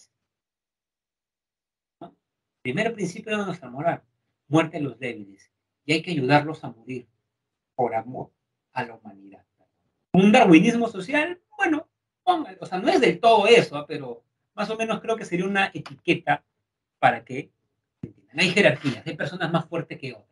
Y ese más fuerte que otro debe tener compasión, porque somos egoístas. ¿No? Profesor, yo amo al prójimo. Muy bien. A ver, jóvenes, si estamos en un avión, el avión se cae. ¿Correcto? El avión se cae. Pasan 10 días, estamos atrapados ahí en el avión. Pasan 10 días. ¿Qué, comienza a hacer, ¿Qué comienzan a hacer las personas? Eso ha pasado también, ¿ah? El equipo de rugby entre Bolivia y Paraguay, creo. Ha pasado en Japón, en Canadá. O sea, no, les estoy contando, eh, digamos, no el señor de las moscas, ensayo de la ceguera, no. Son hechos reales. Sobrevivir. Claro. Tienes hambre. ¿Y qué comienza a hacer la gente entonces? Eh, he visto algunos casos en el que terminaron comiéndose a las personas. Se comían No los había nada más que comer. Como el caso de los futbolistas uruguayos que se perdieron en la cordillera. No sé Así si vio es. esa película. El más fuerte se los come. Se los terminaron Bueno. comiendo. O sea, los que morían. Kevin, entonces, ¿dónde queda el amor al prójimo ahí? Se, se pierde cuando ese pierde la vida. En la, básicamente sí. Y aparte como que todos entendían de que si alguno de ellos moría, iba a servir de comida para los otros también. Eso prueba, Un punto crítico. claro, pero, o sea, para Nietzsche, para Nietzsche eso prueba que la moral es una máscara. Nos enmascaramos. ¿Usted va a amar y respetar por toda su vida esta mujer? Sí, decía. Nietzsche estaría ahí en la boda y diría, mentira, Para Nietzsche sí.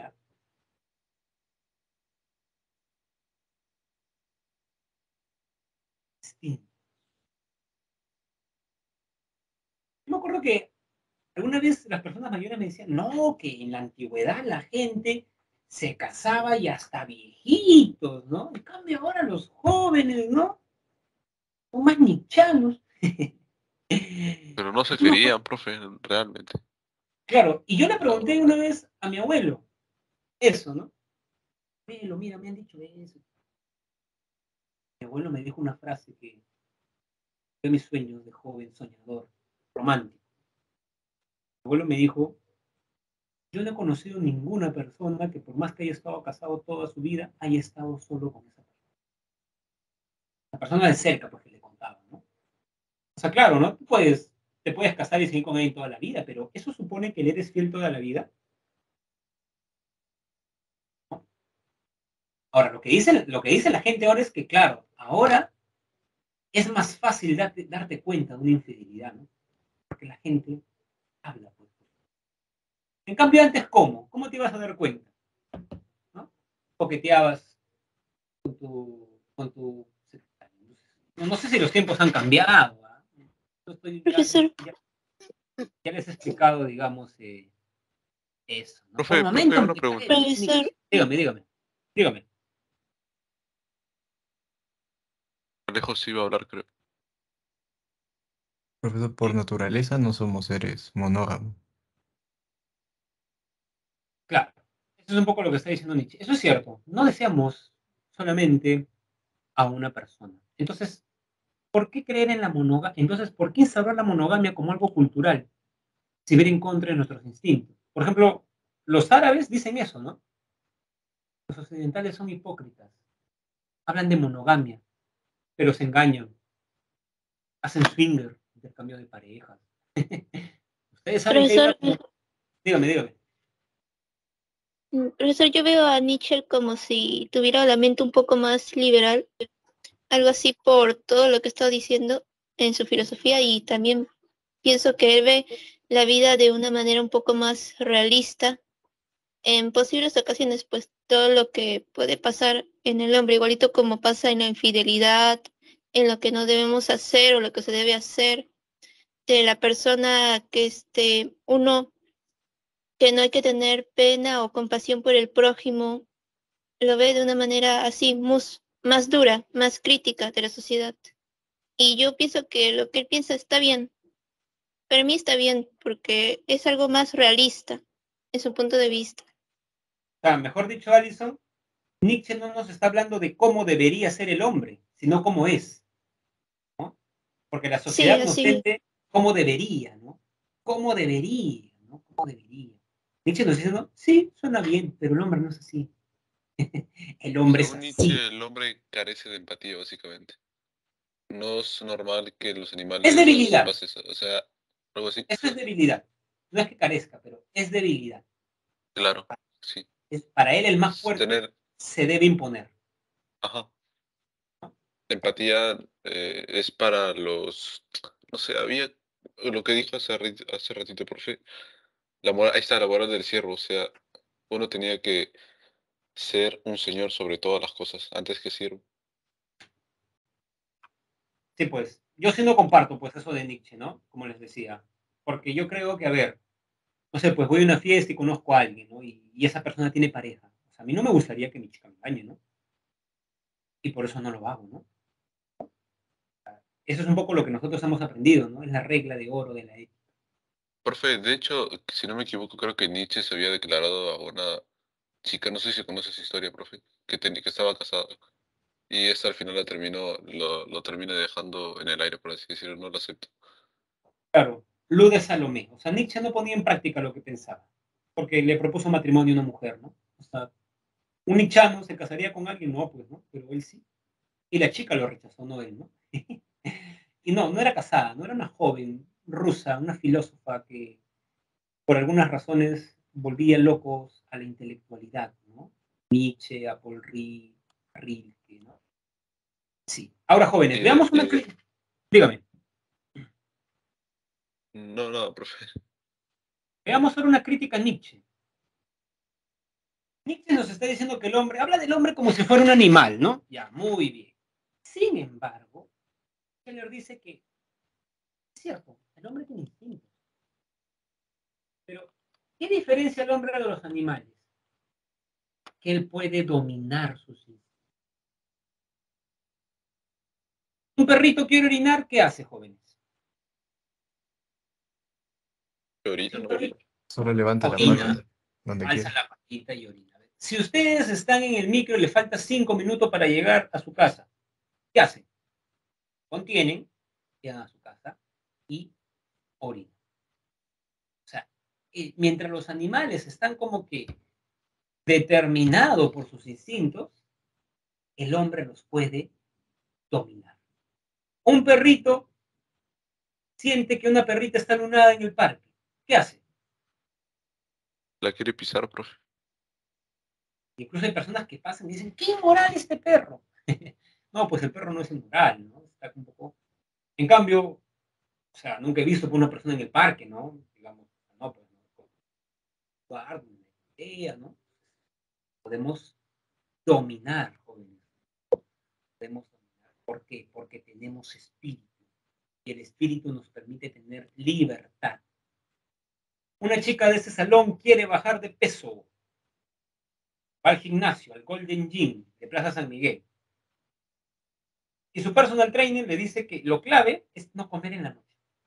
Buen desayuno, buen almuerzo. Y en la noche, bueno, como va a ser, no coma, digamos, no coma comida chatarra. pues, una pechuga de pollo, ¿no? Menestras y una limonada. Pero ella sale y huele Pizza Hut, Kentucky, Papa John's, quiere pues comerse un arroz chaufa. ¿Has visto esos arroz chaufas? O sea, encima ni nutre, ¿no? Porque un montón de arroz un poquito de... ¿no?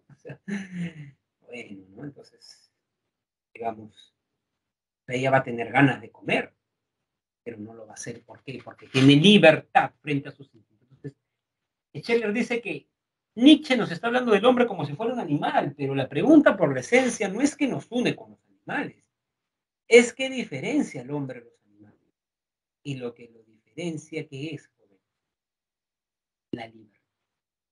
Tenemos libertad, o sea, mejor dicho, podemos tener instintos jóvenes, pero uno no puede decir, pues, a una persona, ¿no?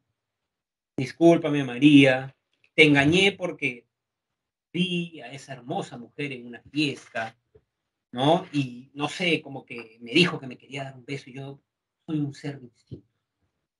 Esa persona no te diría, ah, te comprendo, te diría, terminamos. ¿Pero por qué? No has leído Nietzsche nada que Nietzsche, ¿no? Todos tenemos instintos jóvenes, pero los dominamos.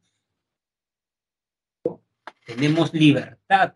Frente... Ahora, tenemos una libertad, o sea, no es que te vas a aguantar de orinar cinco días, ¿no? O sea, una, li- o sea, vas a dejar de comer, pero dominamos nuestros instintos en cierta medida. Porque tenemos espíritu, entonces tenemos libertad frente a los instintos representamos el mundo, claro, ¿no? Yo veo, por ejemplo, el día de ayer vi un árbol muy bonito y ahora recuerdo ese árbol, ¿no? Árbol con hojas lilas, ¿cierto? Muy bien. Autoconciencia. Yo veo el mundo, veo las cosas, pero en un momento pienso en mí mismo. La conciencia tiene como objeto a la propia conciencia. Autoconciencia. Cuando pienso en mi vida. Como dice el poeta checo Rilke, el hombre tiene los ojos hacia adentro. Bonito verso. Hacia adentro. Solo vemos el mundo, nos vemos a nosotros. Hay personas que paran viendo los errores de otros, no sus errores. Hay que vernos nosotros. ¿Somos justos? ¿Estamos haciendo daño a alguien? Porque según los psicólogos, esto se llama creo que la ley del espejo. Cuando criticas mucho algo en alguien es porque en realidad estás criticando en ti. Y además que joven es un consejo para su vida. La personalidad de otra persona no depende de ustedes. No se gasten la vida cambiando a alguien. Sus padres son así. Y peor, las personas adultas están más asentadas. ¿No? Su personalidad. Cambien ustedes. Eso sí está en sus manos. ¿No? Que su pareja los engañe, eso no depende de ustedes. No está en tu campo de acción. Pero sí está en tu campo de acción respetar la ley. Autoconciencia. Nosotros mismos. ¿Cierto? Muy bien. ¿Qué pasó? ¿Qué pasó? ¿Qué pasó? Profesor, disculpe, Dígame. ¿se puede acercar un poco más al micro? No, a veces no lo escucho lo que dice. No me voy a acercar, pero voy a hablar más fuerte. Ok, ok. Muy bien. Entonces, ahora sí, Juan Pablo. Vamos a ver. Sí, está bien. El hombre es un animal simbólico. A ver. Por ejemplo, acá está el lenguaje. Por eso digo, los filósofos entienden de una manera el lenguaje, jóvenes. ¿ah? El lenguaje es un sistema simbólico. Vamos a llegar a eso. A ver. Básicamente para los filósofos, eh, para los que no entendieron, o sea, lengua en filosofía es equivalente al lenguaje. Sí, pues, para ellos sí. Incluso razón, podríamos. ¿no? A ver, jóvenes, piensen ustedes. Las cebras ven en una, digamos, en una llanura de, de la selva africana eh, a un león. Ven al león, o a la leona. ¿no? ¿Qué hacen las cebras? Acción, ver al león. ¿Cuál es su reacción? Huir. Huir. Correr. porque son animales. En cambio, nosotros, entre acción y reacción, tenemos un sistema intermediario, la interpretación, un sistema simbólico. A ver, pensemos que todos nos vamos de viaje, viaje de la playa de San Marcos, ya nos vamos. ¿Cuántos somos? A ver. 38 personas más el profesor, ya hay 40, ¿no? Más Jimmy y el profesor, ya 40. Y pasamos por una iglesia vemos una cruz. Señor Juan Pablo, ¿qué hace usted cuando ve una cruz? ¿Se persina? Yo no me considero creyente, así que no. Muy bien. No se persina. Sí. Pensemos que yo, pensemos que yo sí soy creyente. Entonces veo y incluso he visto que hacen acá también, ¿no? Yo sí me persino. Ya, por ejemplo, Alison se persina y Juan Pablo no. Eso prueba que no son animales, son seres simbólicos. Ustedes interpretan la realidad. A ver, si estoy dando la clase y de pronto se dan cuenta que tengo un anillo de oro acá. ¿Qué interpretan? No digo Está casado. casado, profe. estoy casado. ¿No? Nosotros interpretamos. Y los símbolos son arbitrarios. ¿Es necesario que esto se llame celular, jóvenes? Si fuera necesario, en inglés sería celular y en alemán también. En alemán no se llama celular, en inglés es cell phone, ¿no? O mobile phone. ¿Correcto? ¿Ven? Sistema simbólico. Imagínense, jóvenes. Llegaron los españoles a Cajamarca, mundo europeo, mundo inca. Y los españoles le dieron la Biblia Atahualpa, la palabra de Dios. Atahualpa, ¿no? hecho hablante, digamos lengua oral, ¿hizo qué? Hizo oír la palabra de Dios, no yo. ¿Y qué hizo? Tiró la Biblia. O sea, Atahualpa y los españoles no veían lo mismo en una Biblia. ¿Correcto? No era el mismo sistema simbólico. Estuvo mal, pues, lo juzgaron, ¿no? Por impiedad al pobre. ¿Correcto? Así que, estimados jóvenes, sistema simbólico. ¿Qué pasa si ven que hago este saludo, jóvenes? Meto un gol y hago ese saludo. My Führer, ¿no? O si ven, por ejemplo, que tengo una evástica, ¿no? Eh, neonazi, dicen, ¿no? ¿Cierto? ¿Ven? Símbolo. Todo es símbolo. O jóvenes, a ver, pensemos que ya estamos en un salón de clase. Y a una chica de ese salón, a ver, Alison, a usted le regalan un corazoncito rojo, uno de sus compañeros, el 14 de febrero. ¿Cómo interpreta ese corazoncito rojo?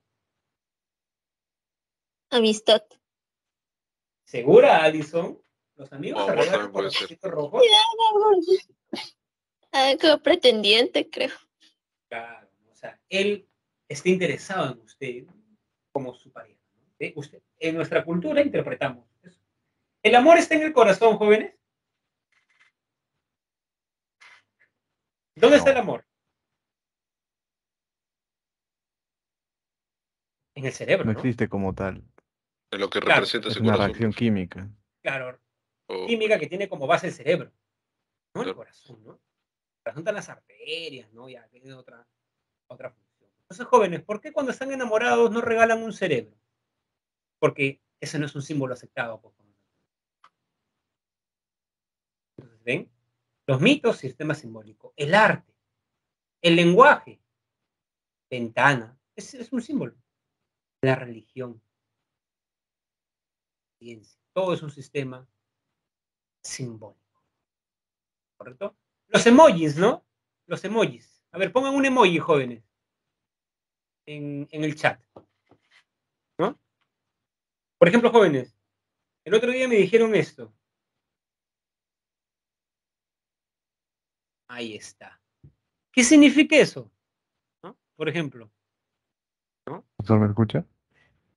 NTP.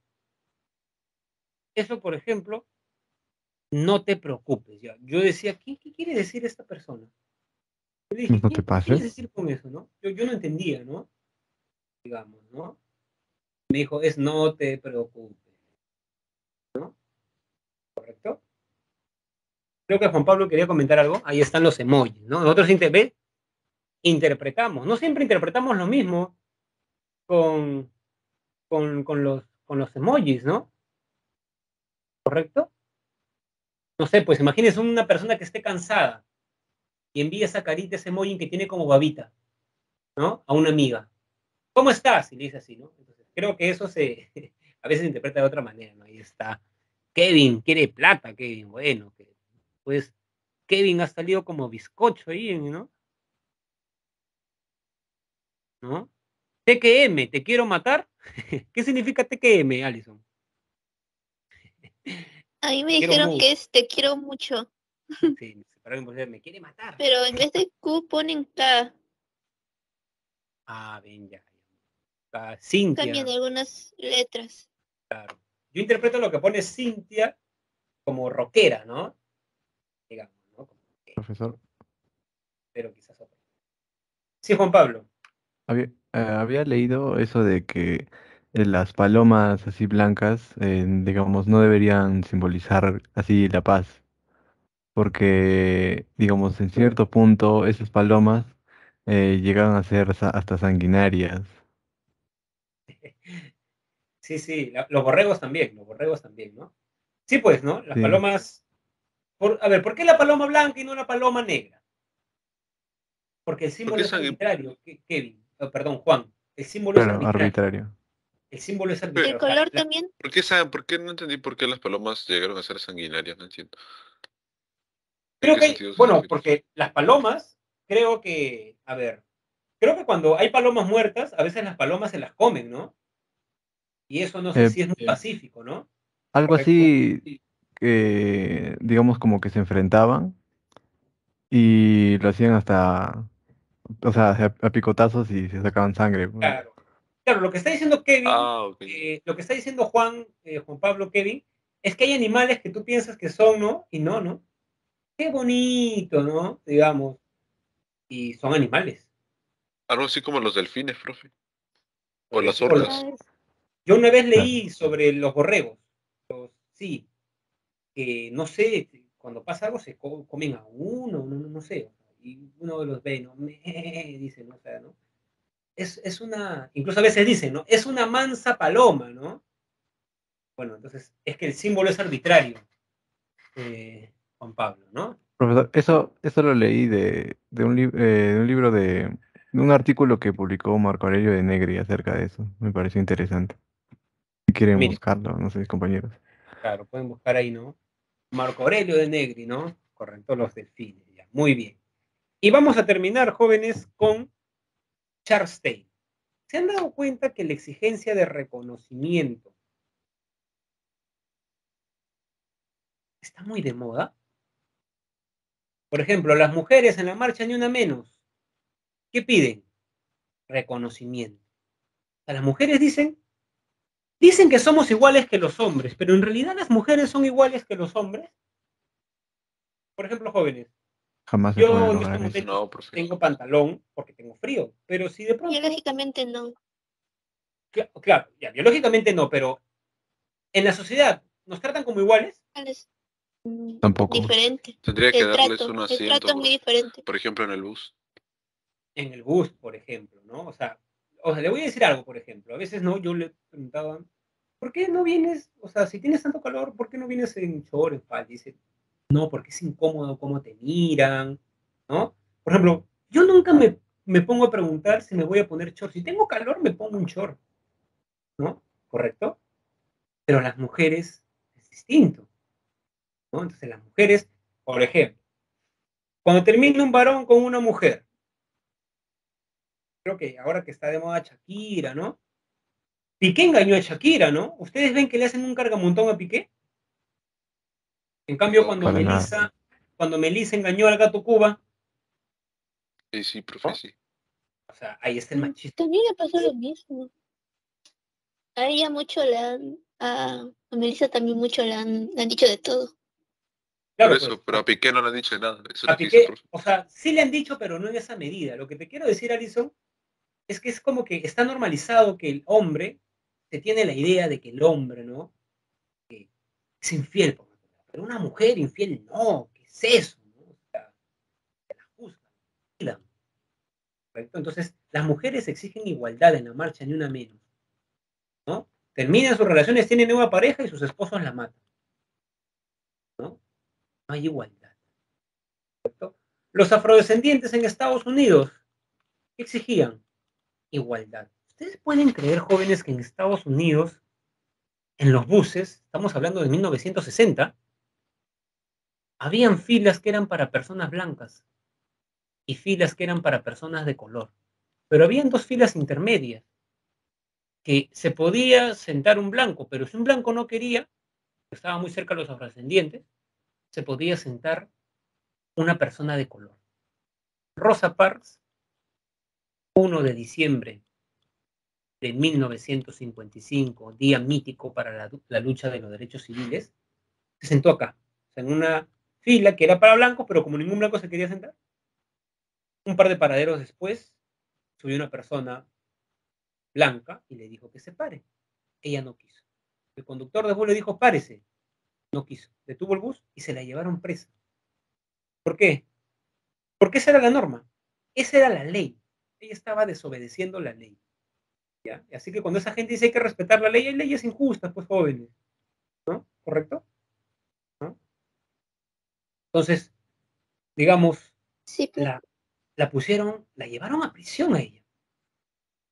Los afrodescendientes no iban a los mismos colegios que los, eh, digamos, estadounidenses blancos. Era una sociedad que practicaba las famosas leyes de segregación. Un blanco con una persona de color no podían estar. Se veían mal. Incluso en algunos estados, Claro, era un... pues, ellos lucharon por la igualdad, hicieron el reconocimiento. Porque las leyes decían que eran iguales, pero en la realidad no eran iguales. Y eso que pasaba en los Estados Unidos pasa acá en el Perú, actualmente. Se dice que todos somos iguales, pero eso es mentira. La policía no se comporta igual en Lima, lo hemos visto ayer. No se comporta igual en Lima que en el Cusco, Huancavelica, Arequipa, Puno. ¿no? Nos dicen que somos iguales y suena bonito. Y por eso hay marchas. ¿no? Por Profe, eso hay creo que en Estados Unidos también, en lo personal, siento que la ciudad tampoco es tan igualitaria. Porque uno Claro. me he dado cuenta cómo hablan los, las personas de color y las personas blancas y tienen un tono de hablar muy diferente. O sea, si bien no es como que vas al bus y te van a discriminar o que tiene que ser una escuela aparte, en el tema cultural sigue habiendo una especie de diferencia muy notoria. Claro. En la manera en la que hablan. Es como que si por ser afroamericano tengas que tener una especie de acento para hablar. Claro. Es que, Kevin, no estoy hablando de diferencia cultural o física que hay, sino hablo de diferencia. Nosotros somos iguales jurídicamente. Claro, porque decir que somos iguales, no, pues un varón no es igual a una mujer, ¿no? Pero jurídicamente sí. Supuestamente. ¿Una persona de la selva habla diferente a nosotros? Sí, su sintaxis, ¿no? A veces es distinta. Una persona del Ande también habla diferente a nosotros, ¿no? a veces la paisana Jacinta, ¿no? Se burla de él, se burlan de cómo habla, ¿no? Y más, ¿correcto? Sí, pero en cuestión legal todos somos iguales, pero ¿nos tratan de manera igual cuando protestamos? Digamos, ayer no hubo ningún muerto en Lima, ¿correcto? Entonces, ven, o sea, exigimos la igualdad y la pregunta es, ¿por qué? Ahora, las personas, digamos, eh, eh, de las minorías sexuales, las tratan como igual. Una amiga, filósofa, sanmarquina, lesbiana ella, eh, me dice que un día estaba con su chica por Barranco, estaban dando un beso, y que se acercó un serenazgo y le dijo, señoritas, eso no se puede hacer acá. Jóvenes, ¿alguna vez a ustedes cuando se han estado besando en un parque se ha acercado el serenazgo?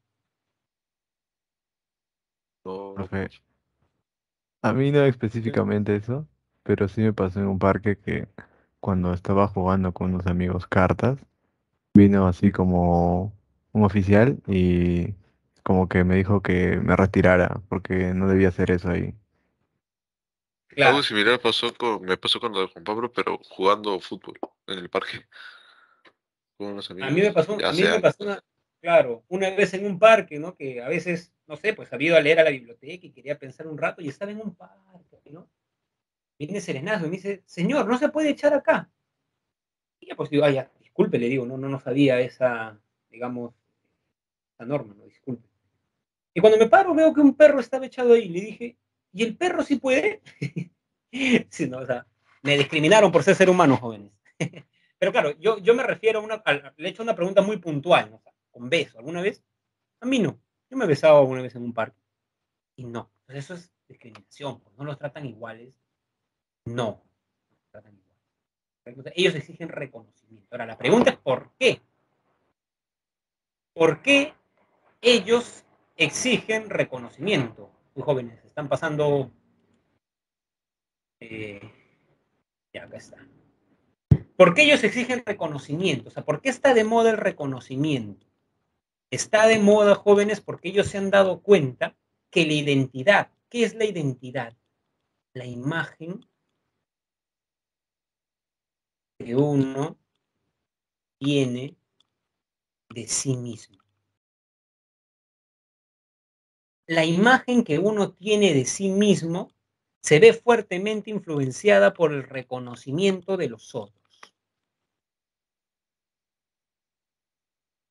Esto también es un descubrimiento de un psicólogo norteamericano, George Herbert Mead, en un libro Mind, Society, o sea, mente, sociedad y no sé qué. No sé si está traducido además al castellano. ¿no? Entonces, George Herbert Mead dice que la imagen que tiene un niño de sí mismo es la imagen que le han proyectado sus padres.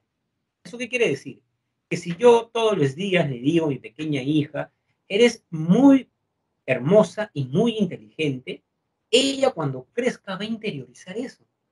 Por el contrario, si yo le estoy diciendo, tú eres torpe, no sirves para nada, y frases problemáticas, le voy a generar problemas de identidad. Por eso, cuando un niño tiene problemas en el colegio, esos problemas a veces son desde casa. ¿Correcto? Entonces, jóvenes, esa es una tesis psicológica. Lo que crea una persona de sí mismo es lo que los otros le han proyectado. A ver, converso con un profesor de biología y me dice, yo soy un buen profesor de biología. Ah, mire usted, ¿y por qué usted estipula que es un buen profesor de biología? Primero, porque mis alumnos siempre están puntuales. Siempre me responden. Siempre hacen la tarea. Salgo bien encuestado. ¿Se dan cuenta? Yo creo que soy un buen profesor porque los otros, porque caso contrario, si voy a mi salón de clase, llegan tarde, bostezan, se quedan dormidos. Nunca me preguntan nada, nunca me responden, yo no creería que soy un buen profesor, diría el profesor de biología. Lo creo porque los otros me lo han proyectado. Entonces, lo que dice esto que les estoy explicando, jóvenes, es que el reconocimiento moldea la identidad. Entonces, lo que se preguntan las minorías culturales es, jóvenes, ¿qué reconocimiento le da la sociedad peruana a la mujer andina? ¿El programa La Paisana Jacinta le da un reconocimiento positivo o un falso reconocimiento? Negativo. Falso reconocimiento.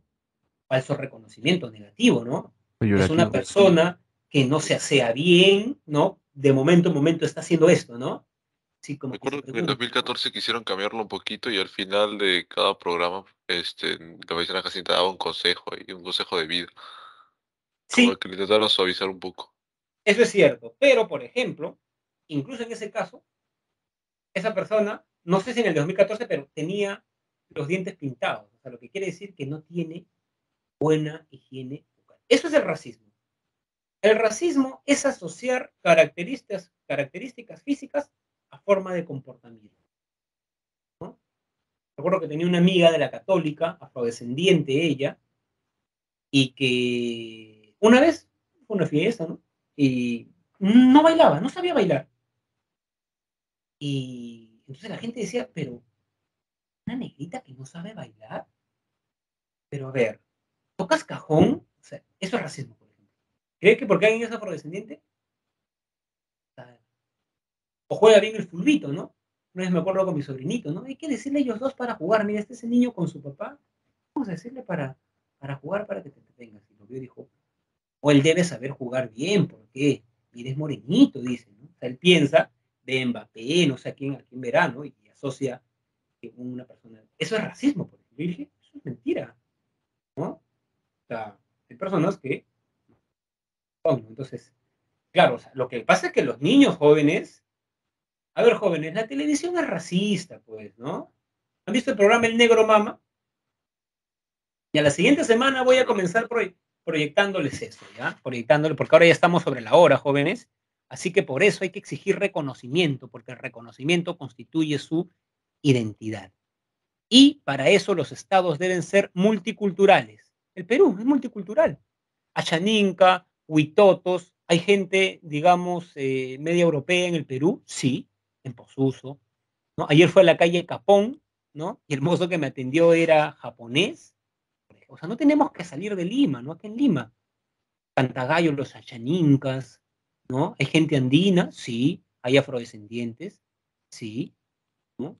San Marcos tengo un amigo que es uruguayo peruano, ¿no? Más caucásico, esto, o sea, somos un país de toda la sangre y debemos reconocerlos como, como tales. Muy bien, jóvenes, disculpen, me he pasado un poco de su receso, pero tenía que terminar, porque eso de la otra clase, la otra clase tiene otras, así que la siguiente clase comenzamos un poco hablando de esto último que vimos de Taylor. ¿Correcto, jóvenes?